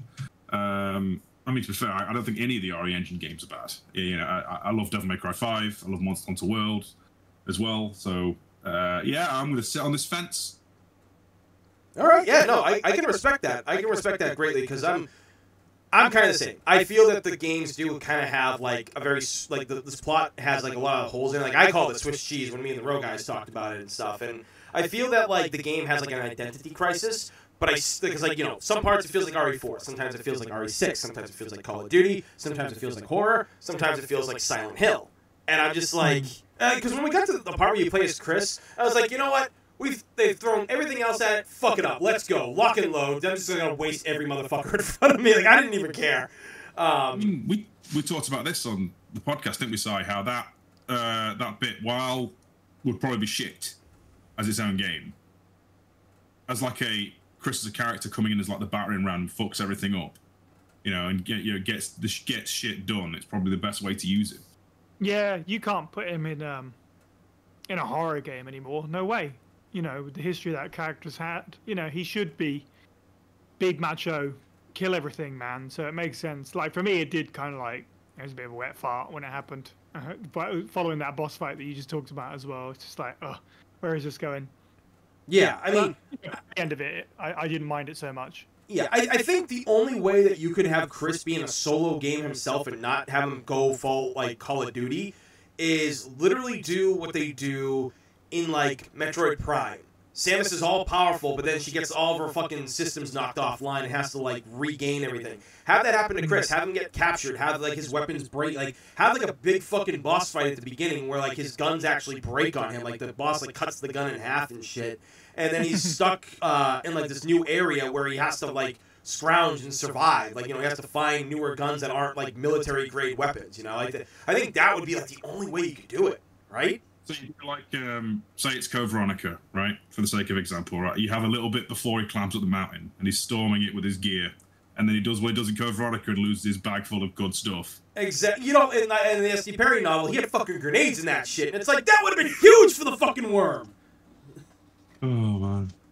Uh, I, I do wonder, like, you know, when you say powering down like Samus, I'm just, I'm just picturing someone like doing the full Bane Batman on him and breaking his back, and that's why he can't run or shit. You know, that'd be a bit too brutal on Chris Redfield, though.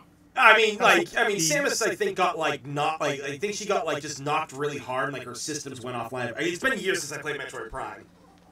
Oh man. Uh, Metroid Prime though, like you know, Samus can either like just walk down a corridor and tank laser blast after laser blast, but if it's a cutscene Oh man, she could like just trip over a stone and lose all her gear. I love those games. Those pocket knives, crazy. Yeah, gotta find a reason to, to set you back to number one, don't they? They gotta, gotta find something. Yeah, I mean, I, I think that would be a good reason, like you know, for Chris, like you know, like he like there is a fight where you get to do like you know the stuff he's known for, and then he has to like find like less superior weapons and work with them. I think something like that would be like really cool, honestly. You know, I actually really like that idea, and I know I feel like every time I have this conversation about what and the next Chris game should be, or you know, if you're gonna do something like that where he has to scrounge to survive, and it's just him alone, you know, using his environment, it's the perfect Halo Reach ending of Chris has to survive until he can't. For me, like that's the perfect way to bow him out, if if anything. Like he really goes down swinging all the way down to the end. Because I think it's time. I'm gonna be that person. I think it's time that some of the characters take a reduced role, whatever that is. oh, dude, I think we're all in the same boat. I think we're all in the same boat as you are. I really do. Dude's 47 in Village. Like it's it's it's time. Yeah, no, I, I agree. I mean, Jill's probably like, uh 'cause she was only a couple years younger, so she's like, She's 45, I think. Pretty sure. yeah. So, and Leon's like, I think this like only like a year or two younger than because I think he's like 45 too. Yeah, I think pretty much all the cast is mid 40s except Chris, who's obviously uh, on the wrong side of 45. Yeah, and Barry's like, you know, in his 50s at this point, or late 50s, I Barry's, think. oh, yeah, he's, Barry's gonna next time we see him, he's gonna have a big long Gandalf beard. Well, like, didn't it, didn't like he make um, like I think like he made a joke in like one of the Revelations guide about like having like bad knees or something like that. Uh, I think it was like a, like a, like an ode to him getting older, but I think he actually did. Um, Yeah, which is why he doesn't do field work. Uh, but I, I was just like, you know. After seeing what he does in Revelations 2, I don't think he's got bad knees. that No, dude got knocked off a cliff! okay, no. Barry Burton. It, I'll tell you something that always made me laugh is the, the Perry novel makes him sound like he's built like a really big dude. Yeah, like a Yeah, burly I- I dude, did- yeah. Yeah, I didn't really start seeing that until Revelations 2. I, I always seemed like a bit more of a chunky dude. Um, to me, anyway. Yeah. Yeah, I mean, like you, you can kind of see how he's like if you play him in Mercenaries and RE Five, you kind of see like how he's built. Mm. And, like, he's built, he's built pretty solid, and like yeah, like the S.D. Perry novels, like they're this like they're like yeah, like he's he's like a he's a like he's got big arms and shoulders and everything like that. I mean, he even tried to I remember he tried to shoulder tackle one of the doors in the S.D. Perry novel, and he actually like almost hurt himself. Mm. Um, Uh, it comes across as like a power lifter or something, doesn't it? Pretty much, yeah. And, you know, I think that, like, I mean, I, I love Revelations 2. I'm so glad that so many people are finally discovering how great that game really is because, in my opinion, that is probably one of the better Resident Evil games they have made because, like, in, in recent years, I should say, like, pre, like you know, after, like, Res- the events of Resident Evil, like, 4 and 5, I think Rev 2 really stands on what it's, uh, what fans wanted because we got you know, Alex Wesker, we got Claire Redfield, we got Barry Burton and everything. We got Natalia, we got um, Barry's daughter in there as well, Moira. Moira, we had we had her, and there's so many throwbacks to.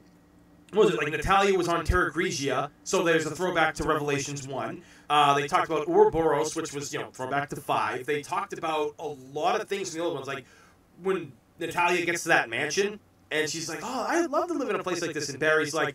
I've had enough fill of uh, mansions for one lifetime, and I was like, "Oh, he said the thing." and plus, Yeah, he's, it's- he's just got dad it's- jokes, like you know, the, it's like the whole thing, like uh, break out time to break out the beer and nachos, and I'm like, I'm fucking done. This is the greatest Resident Evil character of all time. Let's not forget, I'll always need you, but right now I have this. Yeah. I What a moment. oh, I fanboyed so hard that because then he does like a 1980s action slow mo walk away from the helicopter. I'm like, this dude is a fucking beast. He's like, I'm gonna put you and your whole goddamn family in the ground, and I'm like, "Thi- this is like the greatest Resident Evil character of all time. I'm sorry, Jill, I love you, but Barry is king. So, you know, everyone talking about RE7 being the big comeback, but it really was Rev 2. If it weren't for like a few people getting maybe a bit upset about localization stuff, it's the it's pretty fantastic that game. Oh yeah, yeah, yeah, yeah. Definitely, I agree with that. I think, yeah, Rev Two was sort of like pulling back the the baseball bat before the big swing of Seven, for me. Like Steve mentioned, my my prior YouTube stuff, my video game reviews, and one of the earliest ones I did was Revelations Two, And I remember saying at the beginning that like this is the probably the best Resident Evil game in like a decade because of everything that has gone into it in terms of amount of like fan service as well as the way that I really enjoyed the way that it plays in terms of it's it's your over the shoulder action game, but the environments make it spooky and horror-y, and you've got the elements of these characters that can't defend themselves as well. I think it's great. Like it- especially considering you know RE6, which was RE6. Uh, this was yeah definitely along the right path again. It, it's it's so overlooked, but it's brilliant. No, it's, it's true. Like I, I, I love Rev Two. I, I I know like it was like a budget game too and everything like that. And Yeah, it but, was uh, outsourced. As yeah, well. It was Yeah. outsourced, but like it was outsourced to the right people because they just Mm. they seem to understand exactly what this was. supposed. Because like one of the reasons like why RE2 remake worked was because people who worked on the original RE2 worked on this, and they brought fans in. Like, 'cause, like I remember you guys probably know that um, the guys who originally made Resident Evil 2 remake, like the fan project from like the they took like uh, things from the Dark Side Chronicles uh, to like rebuild it. Uh, they got the cease and desist, but Capcom brought them on to like work on the actual remakes. So, and that's like how one of the reasons why Final Fantasy VII remake worked because they had original developers uh, from the first game brought on, and developers that are are new were also fans of the original one. So that's why like things like Rev work. Because I always have this saying that fans do it better, and I did like a top ten episode about like the top ten like you know uh, video game fan projects like based on you know like on games like you know like all the like Street Fighter Assassin's Fist and all those ones that are out there. Because fans just understand it. And Rev 2 is very apparent. And not even just like did they give, give you a great like campaign, which was like it never felt like it changed. You always felt that it was horror all the way through. Even like when things got crazy in boss battles or you know even at the end of the game, it still felt very horror like and it worked. Mm. And they gave you raid mode. They didn't need to give you raid mode, but they did. Perhaps the best mini game in any Resident Evil game ever, besides maybe Mercenaries. I'm not saying that I want to see a, compa- a companion mini game of just those two being sold, but Capcom, it's easy money. You know, Oh my I god. buy Yeah. Tell I- you buy it. Oh yeah, no, dude. You give me you give me a full raid mode game, or you give me a full mercenaries game, or you like get like a package deal for two of them. I will buy fucking five copies of that shit. Anything, because mercenaries. I mean, I I cannot tell. Like my I told you about my friend earlier. Uh, she and I are playing RE5. We've been playing the mercenaries together for years. Like we like like when she finally got into like Resident Evil again, like you know it was RE4 on the Wii, but then we had her get RE5 on the PS3 and she just loved it. And like the Mercenaries was always fun, and Six's Mercenaries one I've been playing a lot more. of. I didn't play it too much back in the day, and I missed out because I've been playing five for, like constantly for years. But now six is just like you just see how well it works. And then raid raid mode on uh, Rev Two is so much better than the first one because my buddy and I years ago when the when the 3DS version came out of the original, we we beat it, and then we played raid mode together because you, you can't do co-op in Revelations One, which I think is so very strange. I think they wanted to, they just couldn't get it to work on the 3DS. But uh, raid mode in that was so broken. I was like, dude, been here for like five hours. You feel we're getting anywhere? And he's like, I mean, we're leveling up, dude, but I don't think I feel like we're in a grind. And then like Rev Two, it's not easier to level up, but it's more balanced. Balanced. That's what I'm looking for. It's balanced. Yeah, and you can like skill up and customize your character a bit more. Oh hmm. yeah, like there's so much more you can do with it. And Rev Two just like it just gives you like you will lose hours of your life to that game like I have. like when it comes to raid mode. It's the one I put the most hours in in terms of like extra game modes. Or Rev 2's raid mode, definitely. I would definitely have to say it's action mercenaries for me, but like ra- ra- raid mode for Rev Two is definitely uh, like up there for me. Like The only thing that it's missing really is like I I would have liked more throwback maps from Revelations One. I thought the maps were okay. The fact that we get like a handful of RE6 ones and uh, just a little bit of the main campaign is a shame.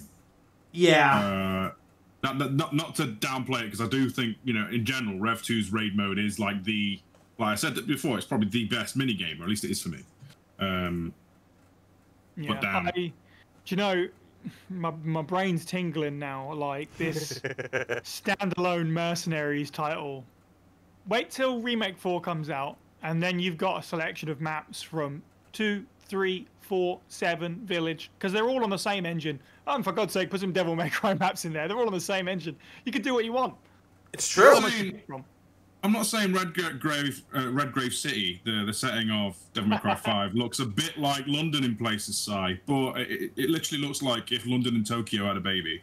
You're not Yeah. wrong. Yeah. I'll get, there, I'll get to that franchise one day. I promise. Hell yeah. I, I mean that, that- I mean that was that's a franchise nobody ever thought was coming back. Like we thought that was dead after that reboot.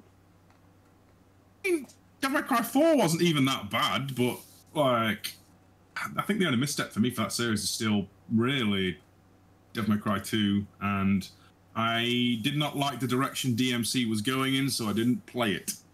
Um, five though, God, it was like a nuclear bomb going off. Oh, I couldn't stop playing that thing when it came out. Oh, same. I I I just went nuts with that. It was it was amazing. Like and I just couldn't believe like how much love went in. Like like because I don't know if you guys know, but Itsuno, the guy who uh, uh, did it and everything, he had a choice. It was either that or Dragon's Dogma two. See, I know people are going to be salty that Dragon's Dogma, uh, sorry, Dragon's Dogma 2 doesn't happen, or it hasn't happened yet. But we have like the biggest love letter to the entire franchise. Uh, like, there's so many references to like the entire series in five, and that's just like just subtle winks. And then you've got like the entire boss, so- the boss set for DMC one, pretty much are like V's playable squad, aren't they? Um, with the exception of, like Phantom. I don't think Phantom makes an appearance. Um, like Griffon, the Shadow, Nightmare, and then obviously Vergil, big deal, Yep. like the big deal.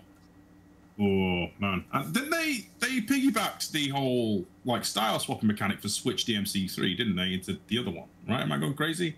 Uh, yeah, like you can like you can shoot like you play DMC three, you can have like Gunslinger, Royal Guard, all those ones at once. You just gotta like Oh, hit man. the hit the button like you can with uh DMC five, and I think that was a Mm. great thing. A lot of people thought like when they were announcing like the all like when DMC trilogy was coming to you know the Switch. And they had like some big announcements and everything. People thought it was Dante for Smash. They thought that like Capcom was gonna like drop a trailer.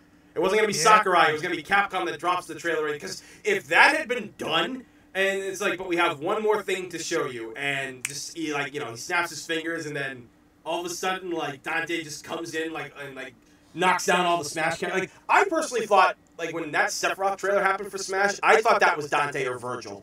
When I saw that slice hmm. come through, I'm like. Oh, is it Devil May Cry? Then all of a sudden the, the theme starts playing, and I'm like, oh god, no, no, what, no! And this, I still think uh, I still think Dante's got a chance, even as someone who hasn't played Devil May Cry. Really, he's a character I'd love to see in it because I think it would fit so well, and he's so well loved. I, I'd love to see it. It's the weird thing, isn't it? Right? Because I'm pretty sure we've all seen the the general like social media hubbub that if Smash gets another anime swordsman, they may actually like start killing people. Yeah. yeah, fair. With the exception of if it's Dante, it's fine. Yeah, Well, you know, a lot of people. It's the thing that is like when a lot of these people that like who write this stuff, they kind of just like don't do the research. People don't mind sword characters; they just don't want any more Fire Emblem characters. Um, because because everybody's yeah, maybe. because everybody's like you know like oh well nobody complains when more Pokemon get added or when more Mario characters get added. It's like dude, like they're all different. I mean yeah like you know like Mario, Luigi, and Wario and Dr. Mario they're, they're similar, but they still have enough to make them different. Fire Emblem characters do too, but at the same time like. Even my friends who are die-hard Fire Emblem characters are like, no more Fire Emblem characters. We got what we wanted. We have the characters. Like, give other people what they want. And I'm like, damn, you guys, and like that wasn't just my friends. Like I, I was on like Smash Brothers um, pages and stuff, and they were all saying the same thing. All the ones who loved Fire Emblem were like, yeah, no, enough. We have enough. Like give like It's give Dante, a like give combination. Ryu, like uh, Ryu Hayabusa. mm, Yeah. it's it's a combination of sort of like the period of time that they were all dropped in. Yeah, because obviously they weren't there wasn't any Fire Emblem uh, in the first game. There was a couple in the next game. There was an extra character in Brawl, and then from there it started to get crazy. But also, there's I think as many Fire Emblem characters in Smash Brothers now as there is Legend of Zelda, which is a franchise that's you know turns 30 this year I think, yeah. I think it's thir- is it thirty? this- No, no, no. It's not thirty this year. It's a lot. or next year or. It's uh, I- I- but either way, like that seems crazy. Like Yeah. Zelda has, you know, as many characters as Fire Emblem, which is I'm sorry, but it's not as important as a series. Like that's no skin off of Fire Emblem's nose. It hasn't been around nearly as long. It's Metroid's got what M- Ridley and Samus And Dark, Dark Samus, I suppose. Yeah, Samus, yeah. Yeah, but I mean, like, who Oh, else? yeah. Who else can you really add from you know that? You know, like great. Mother Brain. You could have bipe- bipedal Mother Brain. you know, That'd be Um, crazy. just Mother Brain on wheels, like uh, like the Koopa Kid. I, you know, there are dumber things, right? I mean, we have a piranha plant. You can't say that it's not possible. We got a fucking plant. I mean, there's all those, there's all the bounty hunters and stuff, isn't there? That uh, yeah, in people Prime want, Three. um, I don't remember. Is it Cyrax? Not Cyrax. That's Mortal Kombat. But you know, there's Oh, the, yeah. the important one in Metroid uh, Prime that gets away or whatever uh, from Mm. Metroid Prime Three. People said that's the most likely one. I don't know. Uh, maybe Metroid Prime Four, when it eventually comes, will introduce a character that people mean- will get behind.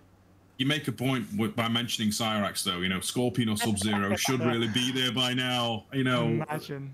It's it's crazy, 'cause- and I, I love people who say that that's not possible because they're too violent. And I'm like, you have Bayonetta.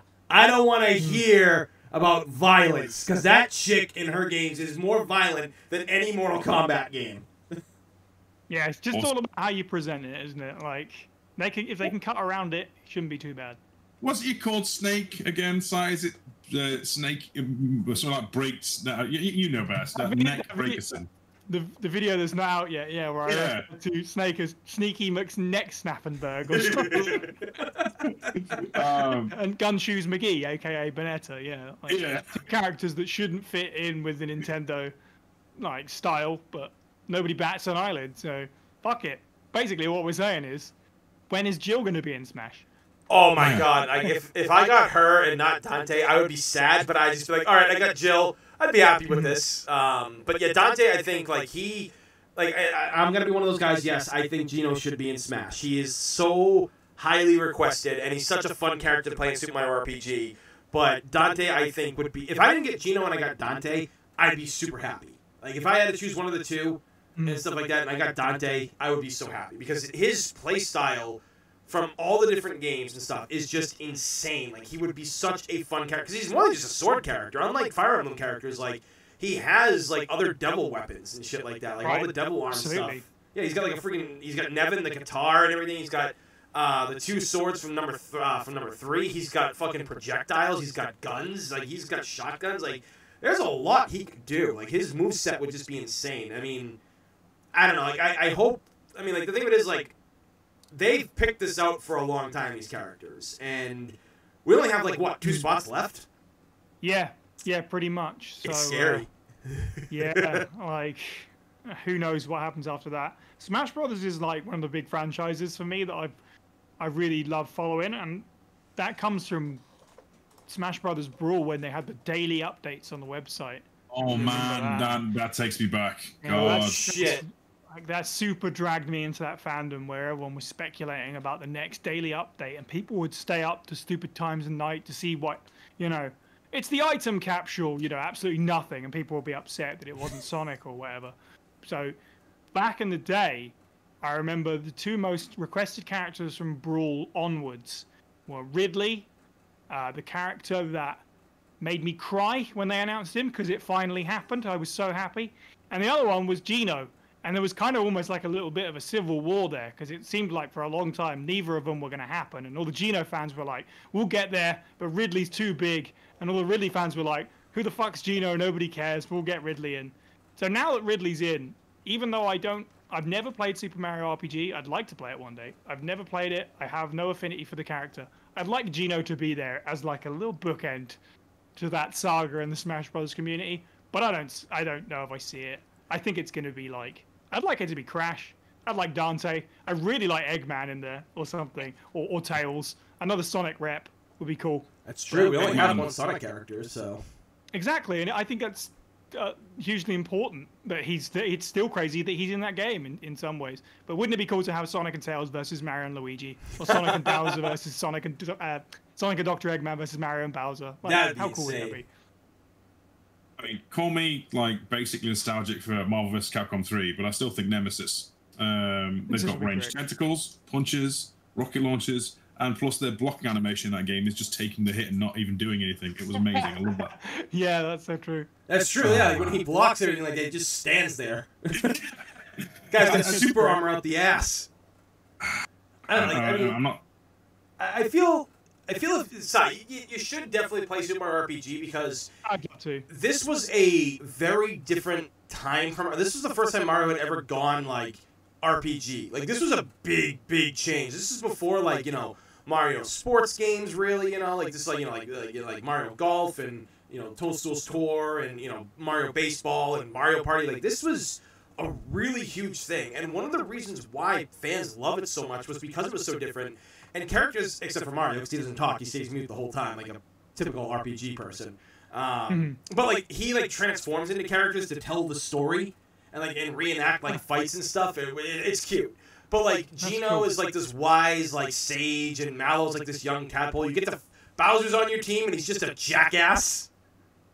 like he always tries to act like a tough guy, and like like the, they stop him from like breaking stuff all the time, and he's just uh, you know he thinks he's like Mr. Tough Guy, but like there's scenes like where he's crying and you can't let anybody see him crying. That sounds Uh, good. Like that sounds great because it's like that era of Square that I really like as well. I Yeah. know a lot of people got nostalgia for that, but it's come back to what we were saying about you know preservation. I can't I can't get my hands on that damn game. It's it's it's hard to find and like I on mean, the I mini could- Super NES. yeah yeah this is exactly that. Or of course you know you're left with emulation and I with emulation I'll I'll, do it if I own the game already because then you know I'm legally allowed to emulate it because I own a physical copy. Or B, it gets to the point where you won't let me play it in any other way. And that's on you, and that's my opinion. If you won't make this available to me, what what do you expect people to do? Yeah, let us give you your, give you our money kind of thing, isn't it? We'll pay for it if you put it on the Switch store in this example. And I, because Super Mario RPG on the Switch would be great. I could take it with me everywhere. It's an RPG. That's what you want. But if you don't do that, what do you expect? Yeah, I mean, like honestly, you, you, like if if they were to announce Super Mario RPG coming to the uh, Super uh, for the Switch, and you had to pay for it, like it wasn't coming to that free section where all the Super Nintendo games are, and they're like, yeah, you're gonna have to pay fifteen dollars for it. I'm like, bitch, I will pay twenty. Give it to me now. like I will, Exactly. I will literally pay for because that game is like literally one of the greatest games of all time. Like it's a it's a simple RPG because one of my, my one of my friends, um, Latina Otaku, she's a cosplayer that I shoot with here in Boston, and we're really good friends. And uh, she just went through and played the game for the first time, and she loved it. Like she really loved how this game was because she played Final, like Final Fantasy and other um, RPGs and stuff like that. And she's like, yeah, it's really kind of easy compared to other RPGs. I was, yeah, I was like, yeah, like your your level cap is like level thirty, not level ninety nine. Um, it's not exactly a tough game, but they really did a, a an interesting way of like creating a world in that game, like a world that you really truly enjoyed. Like it just every character that you came across was was written funny. They're they're they're kooky. They're insane. They have something to prove. There's boss battles that happen where this one guy is just literally talking about it's like they think I'm a hothead, but I'll show them. And the Mario and the others are like, uh, uh, okay, if you could just let us by. He goes, it's showtime. And it's just like, "I- I- dude, we don't want to fight. We just want to get by you. And he just starts like throwing bombs at you and shit and punching you and stuff. Is he literally just wants to be this big time thing, and you never know why. There, and there's a there's a crocodile that you keep running into and stuff like that. He talks like a like a 1930s gangster, like the way like it like his his uh, his word is written and stuff like that. It's it's so fun. Like like I said, the game is just colorful. It's in a way that like you never really saw Final Fantasy games do it. Like they they perfectly took like what's great about Mario games and incorporated it into a brand new way that we hadn't seen before. Hell, Toad keeps getting captured from time to time in the game, and you gotta save him. Every time I see anything from it, like the the word that comes to mind is charming. It just seems so charming. it, it, there's just a lot of love. When, whether they're putting brand new characters into the game or they're using characters from past Mario games in this, the love is there, and it's a game that I, I it's like if I had like make a list of like a top ten games you have to play, that would definitely be on that top ten because you just cannot like you, you just it just does so much. I can't speak anything bad about the game. Uh, like even it doesn't even feel like it's a short game either. It's a decent length. I mean, they do like they've got they've got throwbacks to everything. There's one part where like Mario tries to fight a bunch of people, and Mallow's like, "Who do you think you are, Bruce Lee or something? We're gonna get creamed if we go in there." Or um, there's a there's a there's a there's a boss battle that's a throwback to the Power Rangers, and I was just like, I love I love it.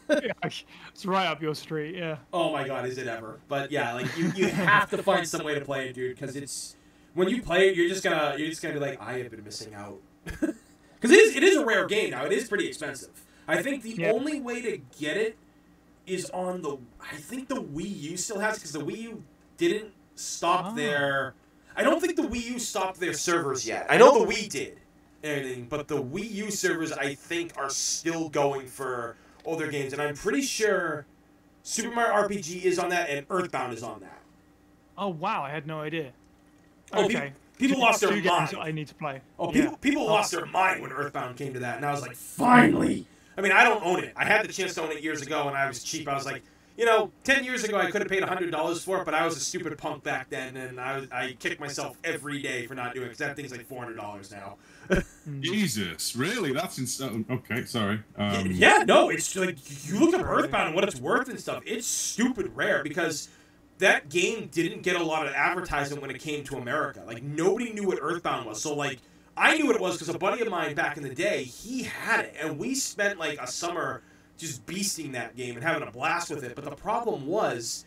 It didn't get the proper advertisement, so it never got any exposure in America. Like people were too busy playing like Donkey Kong Country and the Mar and Super Mario World and Killer Instinct and all these, these other games they amped up on the Super Nintendo. So when N, when the N64 rolled around and you got uh, there was supposed to be a Metro uh, sorry uh, Earthbound 4 because technically Earthbound is is Mother 3. Um, that was in, actually in Earthbound you literally go to a, like a, a building and it says uh, you know uh, uh, closed for making uh, Mother 4 Earthbound uh, you know Earthbound 2 as it was going to be called because it was going to be on the N64 but that never happened. They tried it for the N64 and it didn't. So when Ness showed up in Smash Brothers people were like well, who's Ness? What's Earthbound? I didn't know. And because you could still rent Super Nintendo games back then yeah people started to s- discover a little bit who Ness was, but it wasn't really until years later when the internet became more prominent that other people were like, "Holy shit, this game looks fun!"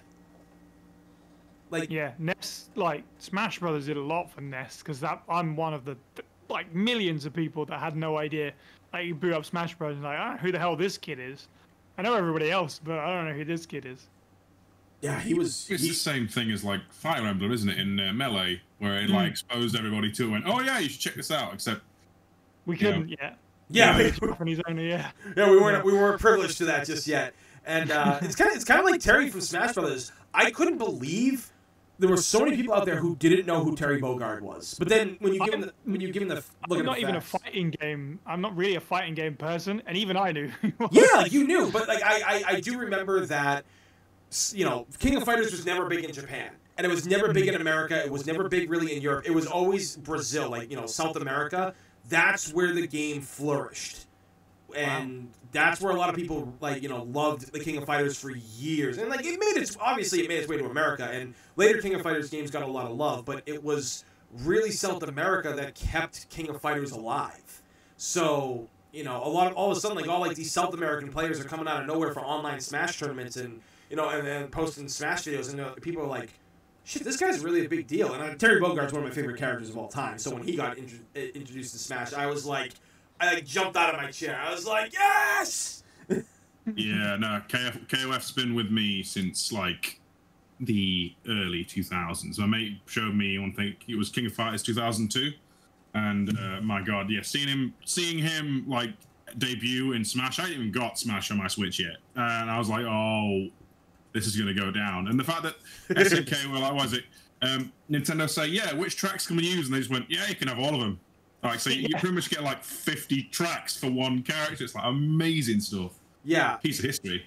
they they really, that's the thing about Smash Brothers. I've always said they're not they can't top what they've done now. Ultimate literally is its name. You cannot top what you've done. If you try to like take a break and then make a new Smash Brothers later on, you will have like because of the popularity, companies like Konami, Sega. Well, I mean Sega and Nintendo are, are in better position than they ever have been, but like you know Capcom, you know like you're gonna they're gonna want you know more money to use the licenses for these characters because they make Nintendo makes so much, and we might get a, a thing where Nintendo's like, yeah, you know, we're not gonna pay you for that. So Solid Snake's gone again, and you know, like, you know, we're not gonna include Mega Man or Ryu, and if you don't, I'm gonna, uh, you know, you do that, I fucking kill you guys. Uh, no, I'm not gonna do that, but that would really, that would be. So the thing of it is. You just update the game. Continue updating it every couple of years, throw in a couple of new characters. Kind of like what I best, I think like one of the best examples of that was kind of uh, not like how Street Fighter Five did it, you know, like they did really well, but I, I'm talking like D- Dead or Alive Five. DOA Five did it pretty well because they launched with a very healthy roster of characters, but over the course of like seven years, seven or eight years, they not just gave you costumes, but they balanced patched everything and they gave new characters. So I feel that that could be Smash Brothers' big uh, thing right there. If they just keep the game supporting, because that way they won't. I mean, I, I, think that licensing can run out on characters, but I think that's if you make a new game. I, I think from uh, just continuing to use the same game over and over and over, I think you'll be fine. I mean, uh, similar method, Killer Instinct, where they do a season and then the last season's rolled in for free, but they just add it on as an expansion. Yeah. Uh, man. Also, side note, Killer Instinct has one of the best soundtracks in video games. Fight me. Oh my Um, god, the, the, the soundtrack in that was amazing. And then like uh, the 2013 soundtracks were kill. I mean, uh, Cinder's theme was one of my favorites. Mick Gordon, Mick Gordon and Little V did an amazing fucking job on that. And then uh, I, I still think one of the best soundtracks I like, and I'm not a person who really likes rap, like at all. But I think TJ Combo's theme in the in the 2013 game was amazing. Omega Sparks had done a fucking phenomenal job. Yeah, hundred percent. Um, I- I say for season three, they had to switch to Celldweller, I believe, who did uh, Dead Rising two. Yes. Uh, still worked out fantastically. I would argue, you know, mix more my thing, but still great OST. So yeah, Killer Instinct. Uh, when's that coming back? Bring back Ki. Oh my! did, Uh, did you see? Did you see when Maximilian had that? Uh, yeah. like he got he got that shit trending on Twitter at like number three, and then he had the Twitch uh, Twitch Rivals thing uh, for a KI tournament, and it was it broke all kinds of records. Like oh sorry, the Marvel three one, the Ultimate Marvel vs. Capcom three one, I think came first, and then uh, Killer Instinct he did that, and then that broke all the records, if I remember correctly. Like that broke their previous one. And it's just like, and then I stopped to think about it.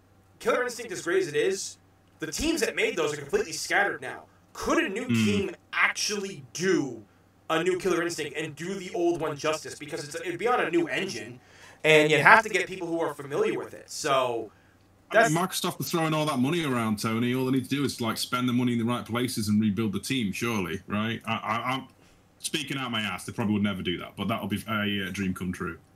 you're you're not wrong because Killer Instinct, like those teams are like with like I think some like Amazon Games now or something like that or or something like that. Like all of them like are like did like all over the place. So yeah, Microsoft has the money. They have literally made so much like new studios. Like they bought so many studios.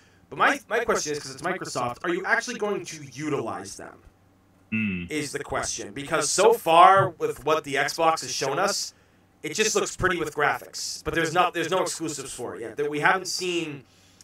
You know, mean, fair play. Backwards compatibility they're doing, probably the best in the business. Still not good enough. Um, and their exclusives. I mean, Halo Infinite's been pushed back, and I believe that's like the only big hitter they've got left, right? Um, there's no Yeah. mention of a new Gears. It's coming to PC as well, Halo Infinite. Yeah. So So- debatably not exclusive, really, but Yeah, but you know what I'm saying. oh yeah, totally. Yeah. I'm right there with you. They do need they need a couple of names. I've been begging Hmm. them, but I've been, I've been keeping them in my prayers that they they just break open the piggy bank and just go to Konami and say, what's it going to take for at least one of these big name franchises that you're just sitting on doing nothing with. yeah, like you know, like hey, uh, you know, here's some money. ca- Like you know, give us Castlevania. Like we'll we'll make you a new Castlevania game. We're not even gonna ask for money. Here's our money. We're gonna make one for you. Right? As much as I wouldn't want that because then I would have to buy an Xbox Series X. Oh yeah, Uh, yeah, yeah, yeah. I would do it for I want a new- Castlevania. I want a new Silent Hill, but Yeah. I, I mean- Xbox should make it. I mean, I can't buy it if they do that, but like, it's gangbusters if they do it. Tony, your online handle, one big boss. What if they actually got Metal Gear? If they got Metal Gear, I would literally shit bricks, but I would also be very scared on how they would handle it because I wasn't a fan of how MGS5 was handled, and I'm not gonna say and sit here and say that it was all Konami. I think the way that Kojima had his thoughts for it, I think it was kind of the wrong way to take the direction of the game. Mm-hmm. But we do know Konami did have a major fucking problem with him, and mm. I do think it was kind of like they were just like, well, he spends a lot of money. It's like, dude, he makes you money. All the money that he's ever asked for, he's made back for you guys in, in your games for years. And to be fair, they forced him to continuously make Metal Gear games. Like he wanted to stop after MGS3 Snake Eater. Like he wanted to stop, and they kept making him do more shit. And then you know they got him to work on Silent Hills, and they fucked that up. Like that, Hmm. I think Silent Hills literally could have been the greatest horror game of all time. Because I still to this day am scared shitless of that game. But when they kind of replicated it in Revelation, uh, sorry, in, in Village, RE Village, I wasn't scared of the giant potato baby. For some reason, that did. I, I think it scared me because Dude, that traumatized me. Like, fuck. I, I, had to, I had to go for sit down. I could not. I Like, could when not I- play the game. when I saw it come around the corner for the first time, I didn't get scared. I don't because you guys might not know this about me. I know my fans do, but I can't handle horror or gore in any way, shape, or form. I am like a, a, a coward when it comes to that shit. Like I can't I can't watch like that kind of stuff. But this for some reason didn't scare me. I got more scared of the mannequin that was on the table of Mia because I'm thinking to myself, is this gonna be like that clown in RE7 that's gonna pop up and stab me? Like I was waiting for that, and the lights flickering in the room, and me couldn't see the the mannequin on the table. That's where I think that they did the best part of freaking me out was that part, not the baby chasing, because the baby was too slow too. Like I felt that like that part that part could have been a bit longer too. I think that should have been a lot longer than it was. To help my case and being a total coward baby here, right? Uh, um, it was about four in the morning my time uh, on launch, not launch night, probably the day after because I had to do it in bursts.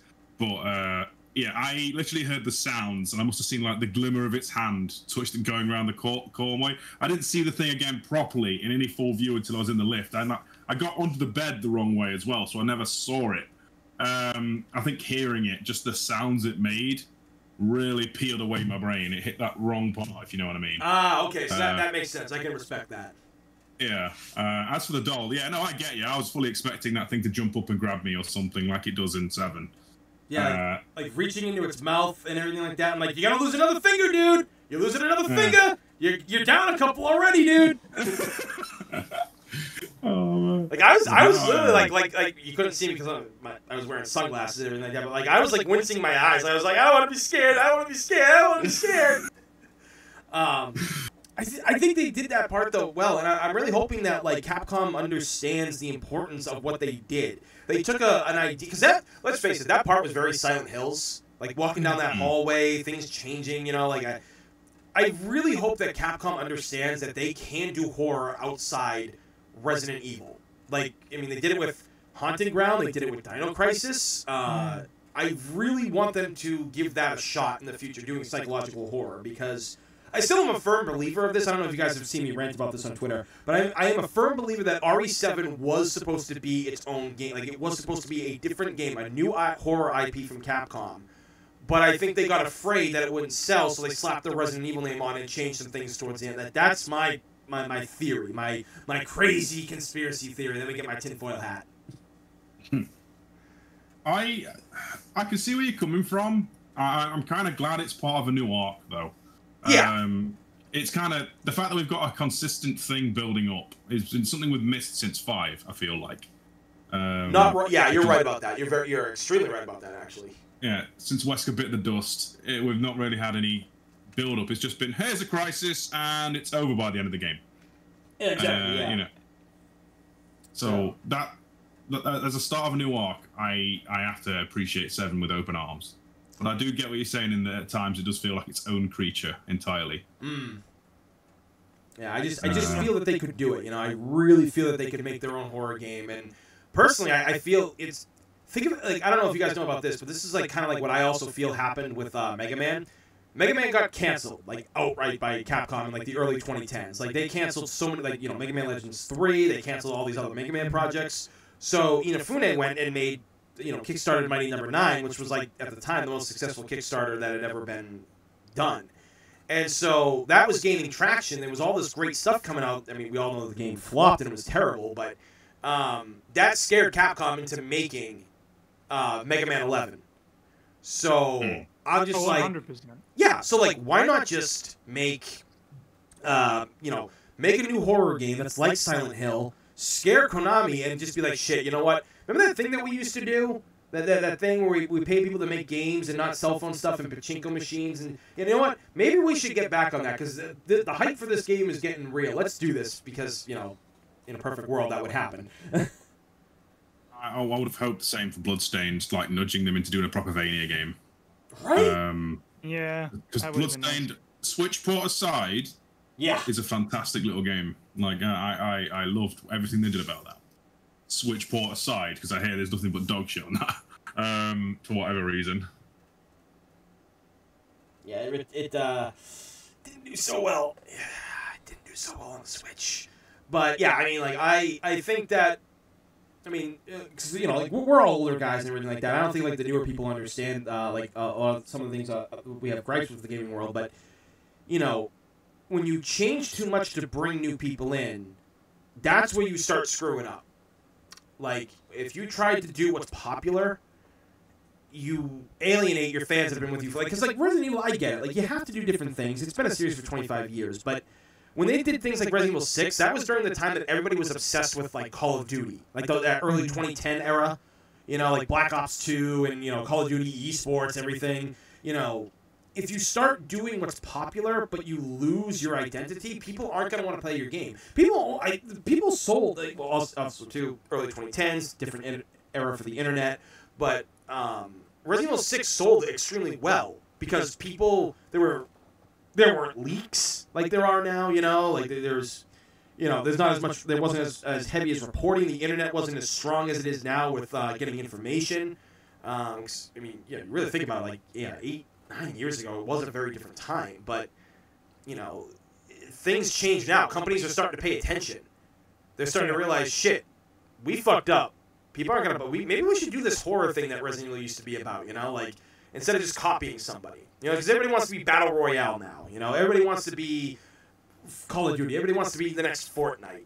And mm-hmm. companies that are doing that just shouldn't do that. Like, I mean, you guys remember how bad it got with like DLC for some companies, right? Yeah, do you know this whole thing kind of makes me think that video game companies, it's okay to take influence from what's going on, but make it work with what you got. Don't just chase after it. Yeah. That's the difference. Like, look at something and go, okay, that's what's popular. Is there a way to integrate that instead of just go, oh, we're gonna make one of them, just slap the logo on it? That's that's the big difference. Like with Resident Evil, um, we haven't had a battle royale game. Um, we've had a crossover with PUBG. That's fine. Do that kind of thing if you go, if you want to do that. Yeah, you cross-promotional stuff, yeah. genre. Yeah, don't you don't need to make your own. Like, so we should be thankful that that doesn't exist. I guess uh, I'm I'm like you. Like try different things, but just be more careful. I guess. Yeah. And try new things, but try and keep it in the same universe, or you know, doesn't break reality to what fans would, would like expect. Exactly. Yeah. I mean, because like like what you said about the the the, uh, the crossover Resident Evil and PUBG, that was brilliant because you're not alienating your fans. You're trying to bring new fans in while not ruining the current games you're working on. Like you're not changing your ideals to fit the needs of uh, of the casual gamers because that, that's the big problem. People are going for the casual gamer now, and it's like no, you don't. You don't go for the casual gamer. Like, yeah, if you're starting off like a brand new series, like if your game is brand new and stuff like that, you know, and you make it to be like that, then that's fine. But if you get a sequel, you don't forget the people that helped you sell the first game. Don't completely go off the rails and change it. You know, like don't do that. Like really look at the blueprint from the original game. Like why why was it successful before? What did we do? You know, did we work on this? And plus, obviously, like, we know how bad like crunch time is with a lot of companies. Like these these game developers don't get any kind of uh, respect or even insurance. Like they get sick. I mean, like you guys. I mean, you guys heard about like how bad Naughty Dog was with a lot of their stuff. Like people were like sleeping in their offices and getting sick. Mm. Yeah, it's awful. Yeah, fucking It's Neil Druckmann. definitely Crunch definitely culture. needs to change. Yeah. Yeah. I think it's there's a phrase right, and it's like don't reinvent the wheel. Yeah. And it is actually when you get when you think about that like specifically, that's what needs to be. Sure, it's fine to reinvent, but you don't have to reinvent the wheel. Every time somebody makes a new model of car, they change other parts, but they don't go, okay, we're gonna have square wheels to see what it's like. reinvent, but you don't have to reinvent the wheel. Yeah, it's, it, it, that reminds me of that old Simpsons episode where he found out he had a half brother and his uh, it was played by um, what's his name, Danny DeVito, and he wanted to, It was, wasn't it? yeah, he wanted to make the. He's like, he's gonna design a car. It's like, but he has no idea what he's doing. So it's like, I don't care. He's the man. We're building cars for guys like him. And he builds that fucking car with the two bubbles, and it. And he like, God bless you, Because Uncle Stephanie. I remember. Oh god, he ruins his career as well, doesn't he? yeah, it makes him broke. It, like it literally bankrupts him. He's like, I'm ruined. Yeah, And then he- no, it's that episode of the Simpsons Games Company. Was it Danny DeVito? Yeah, uh, Unky Herb. Uh, Unky Herb. He like, yeah, he op- like he like in the sequel, where, like the episode where he comes back, he opens the door. He's like, Herb. He just punches him right in the face. Simpsons Mm. references. Now you're talking my language. Oh god, dude, I, like that, that's another podcast I'll have to do is the Simpsons because I, I love the Simpsons. My, my buddy, like I actually never played the Simpsons Hit and Run. So my a good buddy of mine, he, he, he and I like uh, he's on the the Power Ranger show that we both work on. Like he's one of the actors on it. Uh, we just like talk Simpsons all the way down there. And on one of my streams, I, I actually my Game Boy night, I played uh, Bart Simpson Escape from Camp Deadly. It's an old Game Boy game, really really tough game, like a lot of old Simpson games. And I started doing like Groundskeeper Willie's voice on it. And uh, you, you guys know um uh, Bun- uh, Bundy Bundicott on Twitter? I do. Yeah. Yeah, he um he's Scottish. So Proxy uh he clipped it and he sent it over like I, and I sent it to him and he's like "I actually did pretty good with that accent dude and like because I remember I did uh, a Scottish accent before for Bundy and he's like you just butchered my people's accent. but I was doing like groundskeeper Willie he's just like he's like eh, don't let the wee one mind your none. His father's gonna go crazy and turn him into haggis. He's like, what's haggis? Boy, you read my thoughts. You've got the shit in. You mean shining. Shh. You want to get sued? Oh, good memories. I, I I love Groundskeeper. Like out of like out of like the Simpson characters that aren't the, the main Simpson family. Like he is like one of my top favorite characters. He's so great.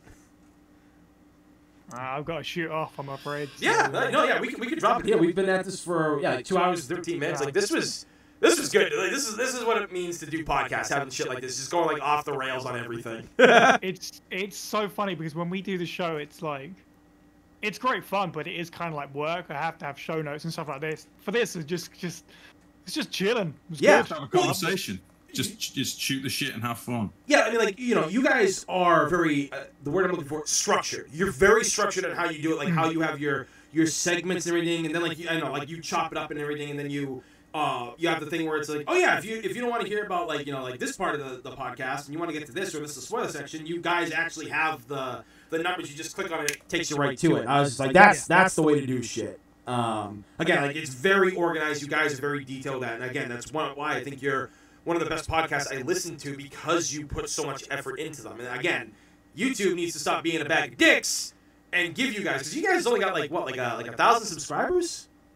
hmm Yeah. Yeah, it's Yeah. just like nah. Time for you guys to get more. Like you guys deserve like way more. Because I, I on my YouTube channel, this one I've only got about like one thousand six hundred, and I've been here for a decade. I'll be it'll be a decade in October. But um, you guys literally are just like consistent, and I'm just like YouTube. They're consistent. Like who do I gotta fucking kidnap to make this shit happen? Okay. Like I will go full American here if I have to.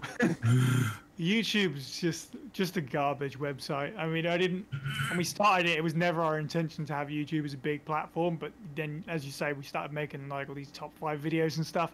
So you kind of have to. Like, there's nowhere else to go.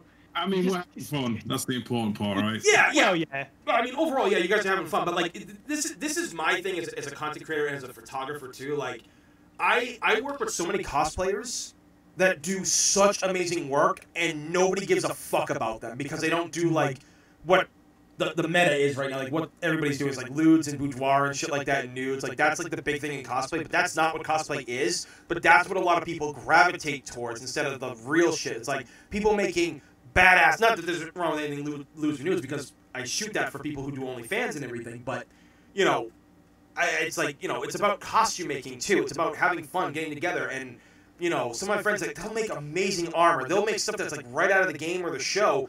And They only got like you know 800 followers and stuff, and I'm like, no, this ain't fair. Anything, you know, like me, like I, I don't care. Like, I like doing this for fun. I would love to do it full time, but you know, you guys have like I, I look at the talent you guys have, and I'm like, I want more for these guys. I want more. Yeah, we appreciate that very much. It is, it is just we we do it for the fun of it. We're still having fun with it. Um, we're just doing it because, yeah, we enjoy doing it. Domination is on the cards. It's the plan, right? You know, um, It's, but it's uh, steps.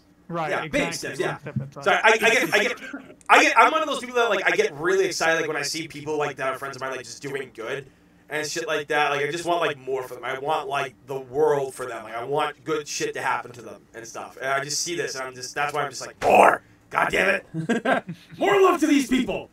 Because like I mean, sometimes you see people that just throw up a video on YouTube and shit like that, and it gets like you know 100k, and it's like you didn't even like do anything with this. Like, why? Why are you getting this? Like, there are people that are working their Me. asses off. I know exactly what that feeling's like. It, it does though, but like you know, and that's that's one of the things that like you know, because I've been I felt that way about my photography for the longest time, but like. Mm. And a, a lot of cosplayers that I follow and be, have become friends with here on Twitter through the Resident Evil community, a lot of them are like afraid to like post something that's not Resident Evil related because they're known for Resident Evil stuff. And I was like, look, dude, like if you lose followers because you posted something non-Resident Evil, big deal. Like the real people are here. You can't because like one of my my good friends, you guys may have seen her cosplays that I shoot. It's Crescent Kitty cosplay. She does the Jill Valentine. Mm, yeah. She gets really down on herself when she sees like people like when she loses views or she does something different, and she really and she really takes it to heart. And I was like, look, look, look, look. Don't worry about the numbers that you lose. Don't worry about the people that say negative shit about you. She was getting big on TikTok, but the I guess like for Overwatch community stuff on TikTok is really toxic. Um, but I told her I was like, for all the negative shit that's out there, it takes the one good thing to make you keep going. And whether it's somebody sharing your video, just hitting that like button, retweeting it, or commenting on a video you do, you know you have it out there. It might not be a thousand followers, but you, like it's kind of like what something like my grandfather used to say. And I guess I can like rework this for modern era. If you can count five good friends on your hand, you're doing good in life. And I guess like if you've got like five good viewers that love what you do, then you're not doing bad at all.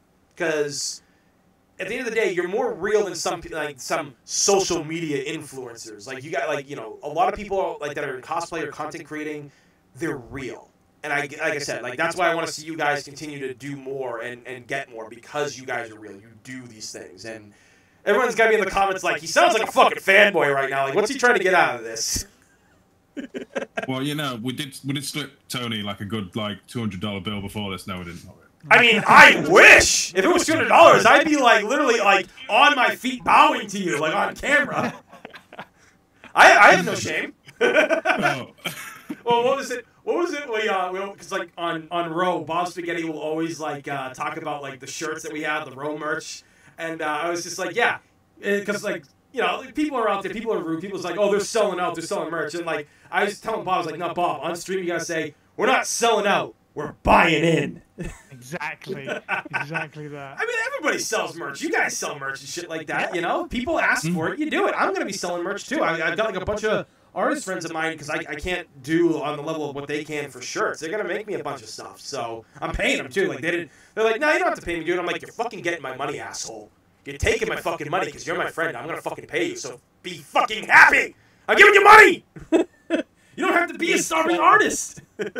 Exactly. It's exactly that. It's about listening Well- to that core audience, Yeah. the people that actually comment on stuff and respond to stuff. If your numbers go down, it sucks.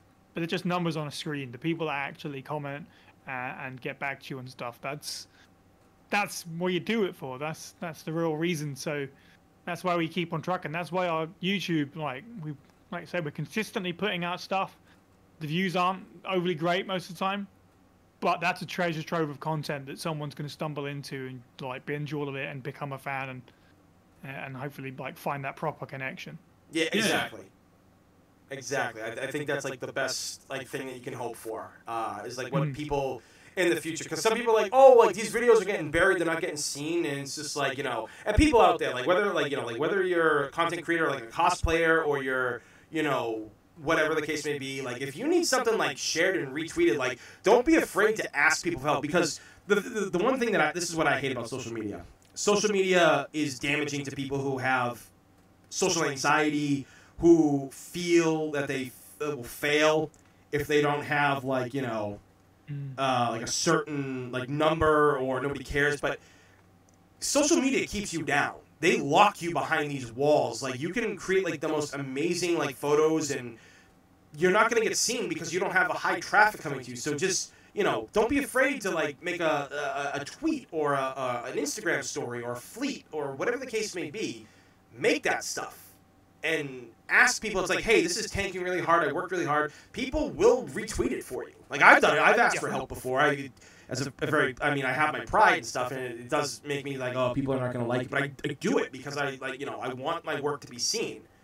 Um, I'm exactly the same. I, I, I don't like to do it, but you're so right. If I see something, um, if somebody tags me in something that they've clearly worked hard on, and I, I will go, oh wow, this is awesome. Absolutely deserves a retweet. Like Yeah. if I can see that you're putting the time in, I don't care how many followers you got. Yeah, you reward hard work. You don't reward numbers. Exactly. Um, Yeah, and I also like for the people out there, like you know, for the people that say no to you or don't want to work with you because you don't have numbers, keep a list. Remember those numbers because and when if they you, come looking for you later, yeah, well, I don't think so. it's like oh sorry, I'm I'm I'm too busy right now. I can't do this because like I I've had that. Like when I, I I've been doing photography for like a decade, and I only had my photography Instagram for about five. So because I didn't realize that I was just like oh yeah shit I could do the, that's like the way to go now and. I have people who didn't want to work with me because I didn't even have like a thousand followers yet, right? But my work, I mean, you guys have seen my work, you know. Um, it's uh, people didn't want to work with me because I didn't have the numbers, and all of a sudden, I started, you know, I got over a thousand, and then I'm starting to get featured in cosplay magazines, and then those people that didn't want to work with me, all of a sudden they're coming back around, and I'm like, really? Because I thought because you had like 30k followers and everything like that, that I wasn't worthy of your time. Like, sorry, I'm not working with you. You said no to me before, like, you know, and, I, and all of a sudden because like I'm you, you're recognizing my numbers, not my talent. Granted, in fi- in like the five years, like in the ten years, I, I my skills at editing have gotten better and stuff. But like when some of these people I asked to work with, my editing was like really good. So yeah, like don't be afraid, people. Don't let numbers. Don't let the numbers uh, mess with your head. That's the be- That's the Yeah. best advice I can give. It's um, it's kind of like coming full circle, really, because you saying all that makes me think. You know, when you came on First Aid Spray, it was like episode nine. Like we we were still pretty young. Yep. Um, so to have someone from ROE, who's like huge channel, and since then we've had guests from s- several other places, other big Resident Evil channels that we've been fans of for a long time. We've worked with Crimson Head. We t- uh, worked with the Resident Evil podcast. Yeah. Yeah, and they've all been so gracious with their time, and they have they didn't they didn't look at us and go, oh, it's just it's just some crappy new podcast. Uh, they went, yeah, you we can see the amount of work you're putting into this. Let's do something. And yeah, coming full circle with the the, the wonder of the community, and, and and especially the creative side of it, and how everybody from there just sort of connects to support each other. I love that. Yeah. Uh, yeah, no, uh, no word of a lie. The like the way people have come to work with our, you know, FAS, uh, uh, and we're very much like uh, little fish in a big pond. Really, when you look at it, it's like it, it's fucking mind blowing, uh, and we appreciate appreciate all of it. You know, it's Mm. Easy. Absolutely. We uh, when we it's funny, we mentioned Sunny earlier. When we recorded something with Sunny a while ago, um, I said to, to the rest of the guys on, I was like, I, I still feel like we're the baby of the Resident Evil sort of podcast community in terms of you know numbers and the length of time we're doing it. And Sunny was like, "You guys make so much content. You're like the giant baby from Spirited Away." Which I love. I'll never forget that. It's That's- a great line. That's awesome. I love that, man. That that that is that is great. Um, all right then. Well, yeah, because I know I know you said you gotta. I got to bounce.